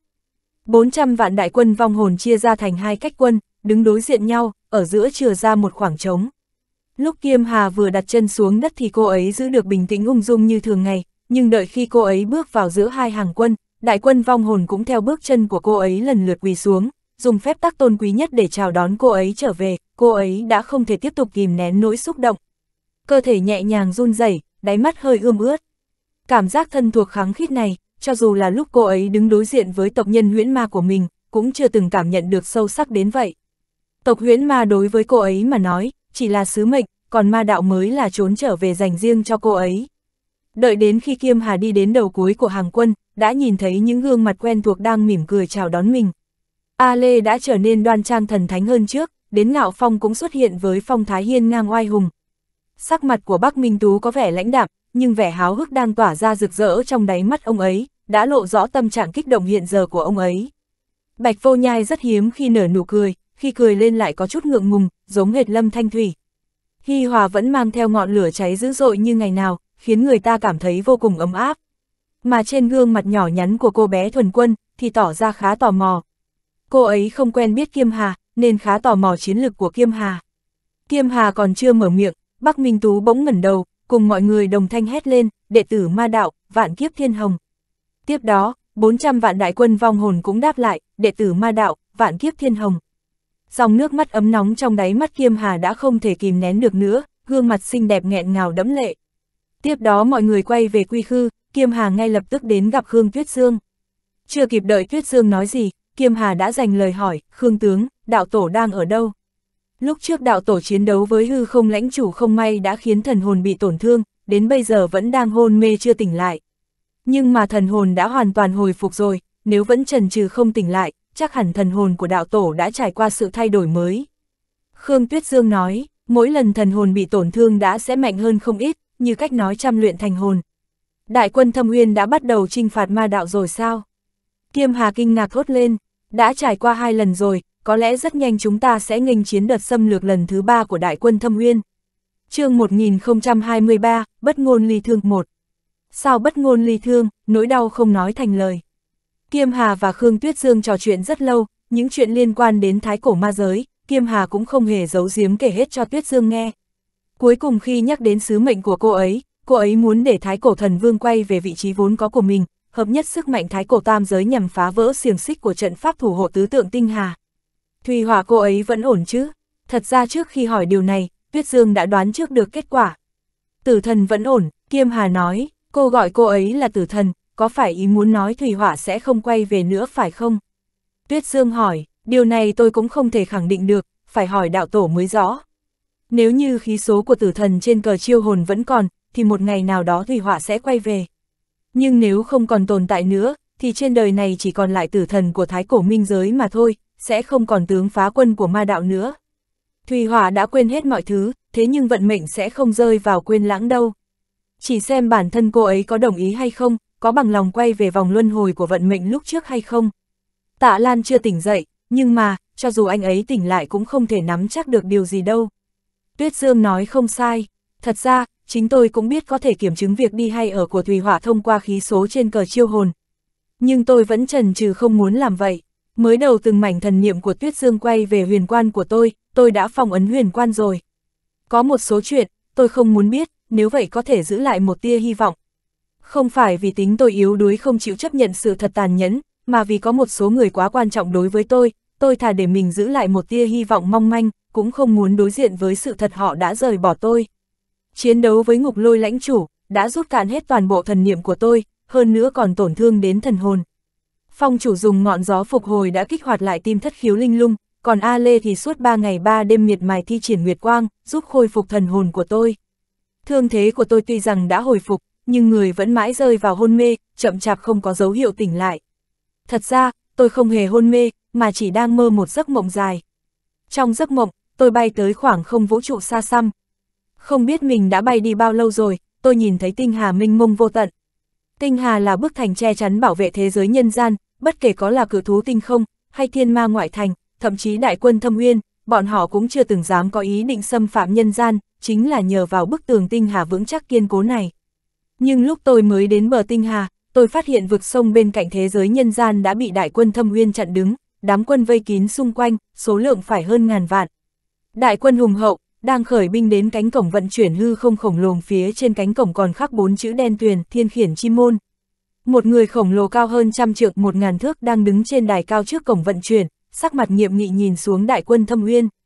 Không kẻ nào dám nhìn thẳng vào ông ta, cho dù đó có là hư không lãnh chủ hung ác nhất khó huấn luyện nhất, cũng trở nên cúm núm trước mặt ông ta. Thần niệm của người khổng lồ mặc kim giáp đã chân áp tứ phương, mang theo sức mạnh do thám, dường như tất cả những gì trong phạm vị thần niệm của ông ta đều không thể thoát khỏi cảm ứng của ông ta. Thần niệm khủng khiếp đến cỡ này, khiến tôi vô thức cảm thấy hoảng sợ. Với cảnh giới tu hành của tôi hiện giờ, trí cường đạo tổ cũng sẽ không khiến tôi cảm thấy áp lực, trừ phi đối phương phải cùng đẳng cấp với nữ oa và vạn quỷ chi mẫu, mới đủ sức đe dọa đến tôi. Sức mạnh thần niệm của người khổng lồ kia, còn mạnh mẽ hơn nữ oa, nhưng chiến lực không dựa vào thần niệm mạnh yếu để phân cao thấp, thần niệm chỉ đại diện cho cảnh giới tu vi thôi, hoặc là đại diện cho một loại thần cách nào đó. Lúc thần niệm của người khổng lồ kia quét qua chỗ tôi, bản năng tôi cảnh báo phải tránh né, nhưng người tôi lại không thể tránh được. Người khổng lồ nhíu mày lại, liếc mắt từ đằng xa nhìn sang vị trí mà tôi đang đứng, tiếp đó trên gương mặt ông ta lộ rõ vẻ lúng túng. Nhưng mà, ông ta cũng để mình không thất thố, rất nhanh xoay người, nhìn sang vị hư không lãnh chủ cao sắp xỉ bằng ông ta nói, chiến tranh lãnh chủ, ông có nguyện chiến đấu vì thiên đạo, tiêu diệt ma đạo hay không? Xin nguyện tuân theo ước muốn của ngài, chiến tranh thâm uyên bằng lòng chiến đấu hết mình vì thiên đạo. Chiến trang lãnh chủ nói, rất tốt, bây giờ ông có thể xuất phát rồi. chương 1024, bất ngôn ly thương khai. Nói xong, người khổng lồ mặt kim giáp hóa thành vô số chữ khác lóe ánh kim rồi biến mất trong không trung. Tiếp đó chiến tranh lãnh chủ bước lên bậc thềm, triệu hồi đại quân thâm uyên của ông ta. Chiến tranh lãnh chủ khoát lên người một bộ thiết giáp mà đen, mỗi một chiếc giáp bọc của thiết giáp đều khắc một phù văn thần bí khó hiểu. Trên lưng ông ta còn vác thêm ngũ diện hạo kỳ, lần lượt đại diện cho pháp tắc ngũ hành trong trời đất. Không chỉ có thân hình to lớn không kém cạnh người khổng lồ mặc kim giáp kia, uy áp thần niệm của ông ta cũng tràn đầy khí thế, thâm sâu khó lường. So với ám ảnh dạ ma và ngục lôi lãnh chủ, đại quân của chiến tranh thâm uyên còn đông hơn gấp nhiều lần, quân số tổng cộng là 500 vạn, chia làm 5 màu tương ứng với ngũ hành thiên địa. Trong đại quân ngũ sắc này, mỗi một binh đoàn đều có khoảng trăm chiến tướng cấp bộ thiên tôn, còn chiến tướng cấp bộ đạo tổ khoảng vài người. Đợi họ hoàn tất việc tập kết, chiến tranh lãnh chủ hô lên một tiếng, triệu hồi ra bốn phân thân lớn. So với bổn tôn, thì thần niệm uy áp của phân thần rõ ràng đã yếu đi phần nào, nhưng vẫn đạt đến cảnh giới trí cường đạo tổ. Cuối cùng, chiến tranh lãnh chủ đích thân chỉ huy quân đoàn quý thủy thẳng tiến phương Bắc, bốn phân thân lớn dẫn dắt những quân đoàn ngũ hành khác, năm đại quân tiếp tục vượt qua cổng thiên khiển. Tôi biết, sắp tới địa điểm mà bọn họ sẽ dừng chân là trên bầu trời quy khư, cái gọi là công thiên khiển là thông đạo vận chuyển chuyên dụng mà thiên đạo đặc biệt tạo ra cho đại quân thâm nguyên. Thấy vậy trong lòng tôi nóng như lửa đốt, cố sức muốn nhanh chóng kết thúc chuyến du hành hư không trong giấc mộng này. Suy nghĩ mãnh liệt này hình thành trong tiềm thức, khiến linh thức của tôi bắt đầu xuất hiện ra ảo giác, giống hệt như đã rơi vào khoảng thời không hỗn loạn, tiếp đó, ý thức không còn tồn tại nữa, trực tiếp rơi vào trạng thái hôn mê. Trong bóng tối âm u tôi cũng không biết mình đã ngủ say bao lâu nữa, đến lúc tôi lần nữa tỉnh lại, bỗng nhiên cảm nhận được trong phòng ngủ còn xuất hiện một luồng khí tức thần niệm mạnh mẽ nhưng cũng vô cùng thân thuộc. Không phải Khương Tuyết Dương, khí tức thần niệm của Khương Tuyết Dương vĩnh viễn không thể trở nên mạnh mẽ đến mức này. Cũng không phải Hy Hòa, Phong Chủ, hay A Lê, cảnh giới tu vi của họ vẫn chưa đạt đến bước này. Tôi muốn mở to hai mắt, nhưng không biết có phải đã ngủ say quá lâu rồi, nên cơ thể vẫn chưa thích ứng được, mí mắt nặng như trì, nhất thời không thể mở mắt ra, cơ thể cũng không cử động được. Chỉ đành nhắm mắt, lờ mờ cảm thấy người đó đang chạm tay vào mặt tôi. Đây là đôi bàn tay của phụ nữ, vô cùng mềm mại và ấm áp. Cô ấy dùng tay chạm nhẹ vào mái tóc của tôi, vuốt nhẹ hàng lông mày nhíu chặt của tôi, rồi từ từ đưa xuống chóp mũi, và dừng lại trên vành môi tôi. Xúc giác trên vành môi rất nhạy cảm, tôi ngửi thấy mùi thơm thoang thoảng quen thuộc trên đầu ngón tay. Bóng dáng một người dần dần xuất hiện trong lòng tôi, tuy cơ thể tôi vẫn chưa thể cử động thoải mái được, nhưng khi nhớ tới người đó, khóe miệng tôi bất giác cong lên lộ ra ý cười hạnh phúc. Đồ ngốc này, đang cười gì vậy? Mà cười dịu dàng như thế. Anh không biết, lúc em ở Thái Cổ Minh Giới, em đã nhớ anh nhiều đến nhường nào đâu. Chỉ là thật hiếm khi nhìn thấy anh mỉm cười, muốn trách chỉ đành trách anh làm ma đạo tổ sư, trách nhiệm gánh vác cờ chiêu hồn nặng nề như vậy, người bình thường làm sao chịu đựng được. Tạ Lan, anh có biết không, em đã gặp được chị Thùy Họa rồi. Tuyết Dương có kể với em chuyện chị Thùy Hỏa niết bàn 9 lần, cô ấy nói anh vẫn luôn chờ chị Thùy Hỏa quay trở về. Nhưng mà, chị ấy thật sự sẽ không quay về nữa đâu. Tử thần đã quên hết toàn bộ ký ức, anh đừng trách chị ấy, đây là sự lựa chọn duy nhất. Nếu như chị ấy nhớ lại, thì chị ấy vĩnh viễn sẽ không thể trở thành tử thần tối cao của Thái Cổ Minh giới được, cũng không thể tập hợp sức mạnh của Thái Cổ Minh giới để dẫn binh báo thù thiên đạo. Tạ Lan, anh hãy sớm tỉnh lại đi, tỉnh lại rồi, chúng ta sẽ có nhiều thời gian ở bên nhau. Em vội vã tới đây, chỉ vì muốn để Thái Cổ Thần Vương quay về thần giới, sau khi hoàn thành nhiệm vụ, em sẽ quay trở lại bên ngoài tinh hà cùng chiến đấu với chị Thùy Họa. Nhưng mà, nếu như chúng ta có thể đánh thắng thiên đạo, em sẽ mãi mãi ở bên cạnh anh. Nói rồi, Kiêm Hà đặt tay lên ngực tôi, dừng lại ở chỗ tim tôi. Cô ấy từng tận tay khoét ngực tôi ra, để lấy đi tim ma. Chỗ này vẫn còn đau sao? Hãy tha thứ cho em vì ngày đó đã khiến anh tổn thương, nhưng mà, em cũng có nỗi khổ của mình. Nếu như em còn lưu luyến điều gì, thì em không thể trở về ma giới. Muốn chiến thắng thiên đạo, chỉ dựa vào mỗi sức mạnh của thế giới căn bản là chuyện viễn vong, em bắt buộc phải quay về thái cổ ma giới, rồi khởi binh tại ma giới. May mắn thay, sau đó anh đã có được tim thất khiếu linh lung, không thì sẽ giống như ma đạo tổ sư ngày trước chỉ có thể làm một đạo tổ không có tim rồi. Nếu như vậy, anh sẽ không thể đáp lại tình yêu của em. Nhưng mà, tình cảm của em dành cho anh mãi mãi sẽ không thay đổi. Bất luận anh có yêu em hay không, em cũng sẽ yêu anh cho đến khi tận cùng của thế giới, để anh hiểu được, mà cũng có tình người. Nói xong những lời này, Kiêm Hà nghiêng người về phía tôi, tỉ mỉ hôn nhẹ lên mặt tôi. Càng hôn càng gợi tình, nhưng thấy tôi vẫn im lặng không đáp lại càng khiến cô ấy đau lòng khôn xiết, không nén được dòng lệ lan dài trên má. Tạ Lan, em là đạo lữ của anh Kiêm Hà đây, em đã về nhà rồi, cớ sao anh vẫn không chịu tỉnh lại. Kiêm Hà, cảm ơn em vẫn luôn yêu anh như ngày trước. Tôi từ từ mở mắt nói, chương 1025, tà ác song tử một. Nghe hết lời bày tỏ chân thành của Kiêm Hà, trong lòng tôi cảm thấy vô cùng áy náy. Anh xin lỗi, tôi ngồi dậy nắm lấy tay Kiêm Hà, thâm tình bày tỏ. Sao anh lại có lỗi với em chứ, là em có lỗi với anh mới phải. Kiêm Hà ngơ ngác nói, nếu như anh sớm đến thăm em lúc em bế quan, có phải em sẽ không rời khỏi anh lâu thế đúng không? Không, tạ Lan à, đây là số phận của em. Thật ra, em chưa từng nghi ngờ tình cảm của anh dành em, tuy rằng em cũng từng chịu uất ức vì chị Thùy Họa, nhưng đó là do em và chị ấy vẫn chưa thân thiết với nhau thôi. Ây, trước đây anh đúng là không quan tâm em bằng Thùy Họa. Tôi cũng không tránh né, thẳng thắn thừa nhận sai lầm mình đã vấp phải. Chị Thùy Họa là người bạn đời tâm giao của anh, em có thể ở cạnh anh hưởng thụ chút tình yêu của anh dành cho chị ấy, em đã đủ mãn nguyện rồi. Kiêm Hà, em không cần phải phân chia tình yêu của bất cứ ai. Bản thân em đã xứng đáng anh yêu xâm đậm một đời, là trước đây anh ấy hở hững rồi. Kiêm Hà hôn chặn mọi lời nói của tôi. Gió thu sương xa gặp nhau trong trời thu, còn hơn vô số cặp tình nhân dưới trần gian. Đợi tâm trạng bình tĩnh trở lại, tôi và Kiêm Hà ngồi trong phòng ngủ trò chuyện với nhau. Tôi nghe cô ấy kể những cuộc chinh chiến ở Thái Cổ Ma Giới, vô cùng kính phục tài dùng binh khiển tướng của cô ấy. Càng kinh ngạc hơn là chiến lực của cô ấy đã có sự biến hóa rõ rệt, thật không ngờ cô ấy lại tìm thấy cơ duyên gia tăng chiến lực ở Thái Cổ Ma Giới. 13 phân thân của huyễn ma, đã giúp uy lực của Kiêm Hà vượt xa cảnh giới trí cường đạo tổ. Với thủ đoạn thần thông bây giờ của cô ấy, đã đủ sức nghênh chiến với nữ oa. Chỉ tiếc là, vẫn chưa phải là đối thủ của nữ oa. Đừng nói tới cô ấy, cho dù đó có là tôi cũng không nắm chắc phần thắng khi đánh nhau với nữ đế. Nếu như sức mạnh chiến đấu của nữ đế trước khi giết chết vạn quỷ chi mẫu vẫn còn gặp giới hạn, thì sau khi giết chết vạn quỷ chi mẫu, sức mạnh của nữ đế đã vượt qua hệ thống lực lượng mà tam giới sở hữu rồi. Nữ đế là chủ nhân MT, trên người đã có sẵn khí tức tử vong của minh giới, nhưng lúc ấy tôi rõ ràng đã nhìn thấy trên người cô ấy phát ra năng lượng của vầng sáng thần thánh. Vầng sáng đại diện cho hướng đi của vạn vật sinh ra trên đời, mà bóng tôi đại diện cho tất cả mong muốn của sinh vật chết. Lục đạo luân hồi của nữ đế sớm đã đan xen giữa sống và chết, lúc thần thánh và bóng đêm giao hòa vào nhau, mới là lúc nữ đế nắm giữ toàn bộ uy lực của lục đạo luân hồi. Mà lý do cô ấy bế quan, chính vì lo lắng sẽ bị thiên đạo đề phòng, vì hiện giờ cô ấy đã có năng lực uy hiếp đến bổn tôn thiên đạo. Còn về chiến lực của tôi, nếu muốn đe dọa thiên đạo, thì vẫn còn một chặng đường khá dài. Ít nhất phải đợi thần hồn tôi mạnh đến mức có thể triệu hồi ra kiếm hải hỗn độn mà không hề chịu bất cứ tác dụng phụ như rơi vào trạng thái suy nhược cơ thể, mới tự tin đối diện trực tiếp với thiên đạo. Mà sau này tôi cũng sẽ tập trung gia tăng chiến lược ở phương diện thần hồn, mượn những trận triển sinh tử, để tôi luyện thần hồn. Nỗi lòng bày tỏ không hết, lời muốn nói nhiều không đếm xuể. Chỉ khi nào nhắc đến thủy họa, chúng tôi mới im lặng hồi lâu. Tôi sẽ không dùng cờ chiêu hồn để xác nhận xem lựa chọn đi hay ở của thủy họa, thậm chí sau khi cô ấy rời đi, đến khí số ma đạo tăng giảm bao nhiêu tôi cũng không tiếp tục theo dõi nữa.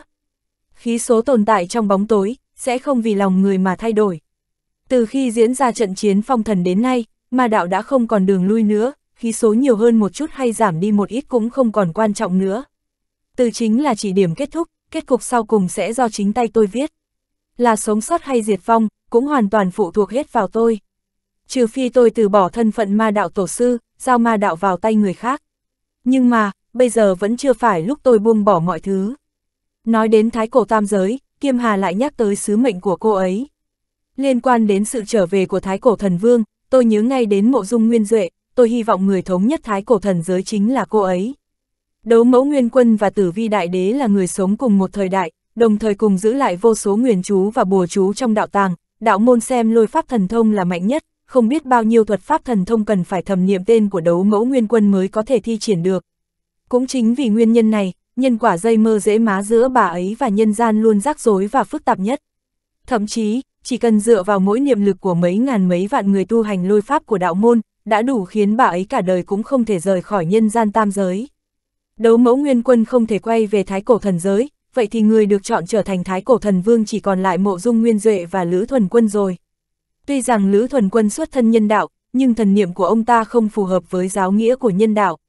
Nói cách khác ông ta căn bản không quan tâm đến bất cứ giáo nghĩa nào hết, cũng không tuân theo tin ngưỡng nào hết. Tín ngưỡng của ông ta chỉ là kiếm chương 1026, tà ác song tử 2.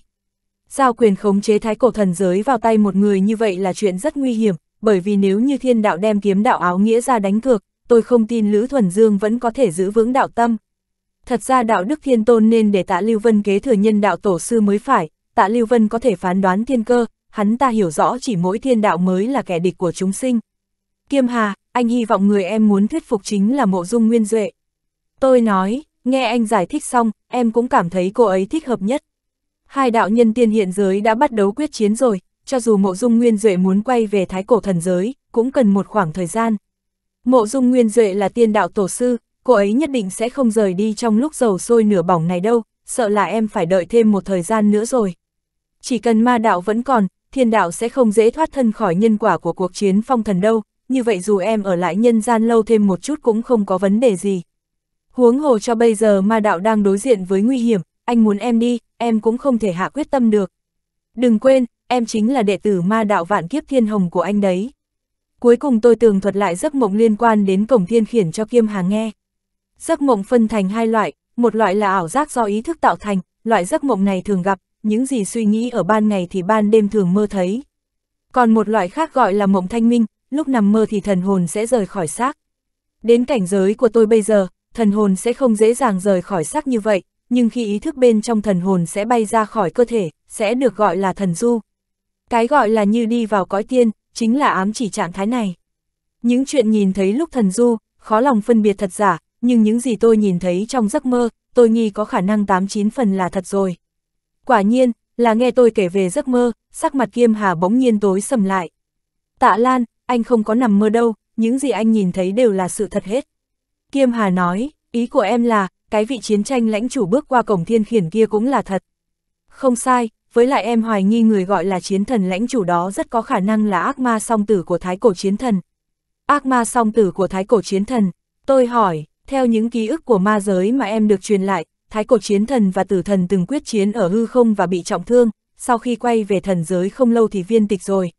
Nhưng mà, còn có một truyền thuyết khác, nói chiến thần thật ra không hề viên tịch, mà đem thần hồn của mình phân tán thành vô số mảnh nhỏ lưu lạc khắp khoảng không vũ trụ. Tiếp đó, Kiêm Hà giải thích cho tôi lai lịch của ác ma song tử của Thái Cổ Chiến Thần. Thái Cổ Chiến Thần không cam lòng chịu thua, nhưng ông ấy đã bị tử thần lấy đi hầu như toàn bộ sinh cơ, quan trọng hơn, lúc chiến đấu ông ấy đã trúng lời nguyền thời gian rực rỡ của tử thần, khiến thọ nguyên bị rút cạn.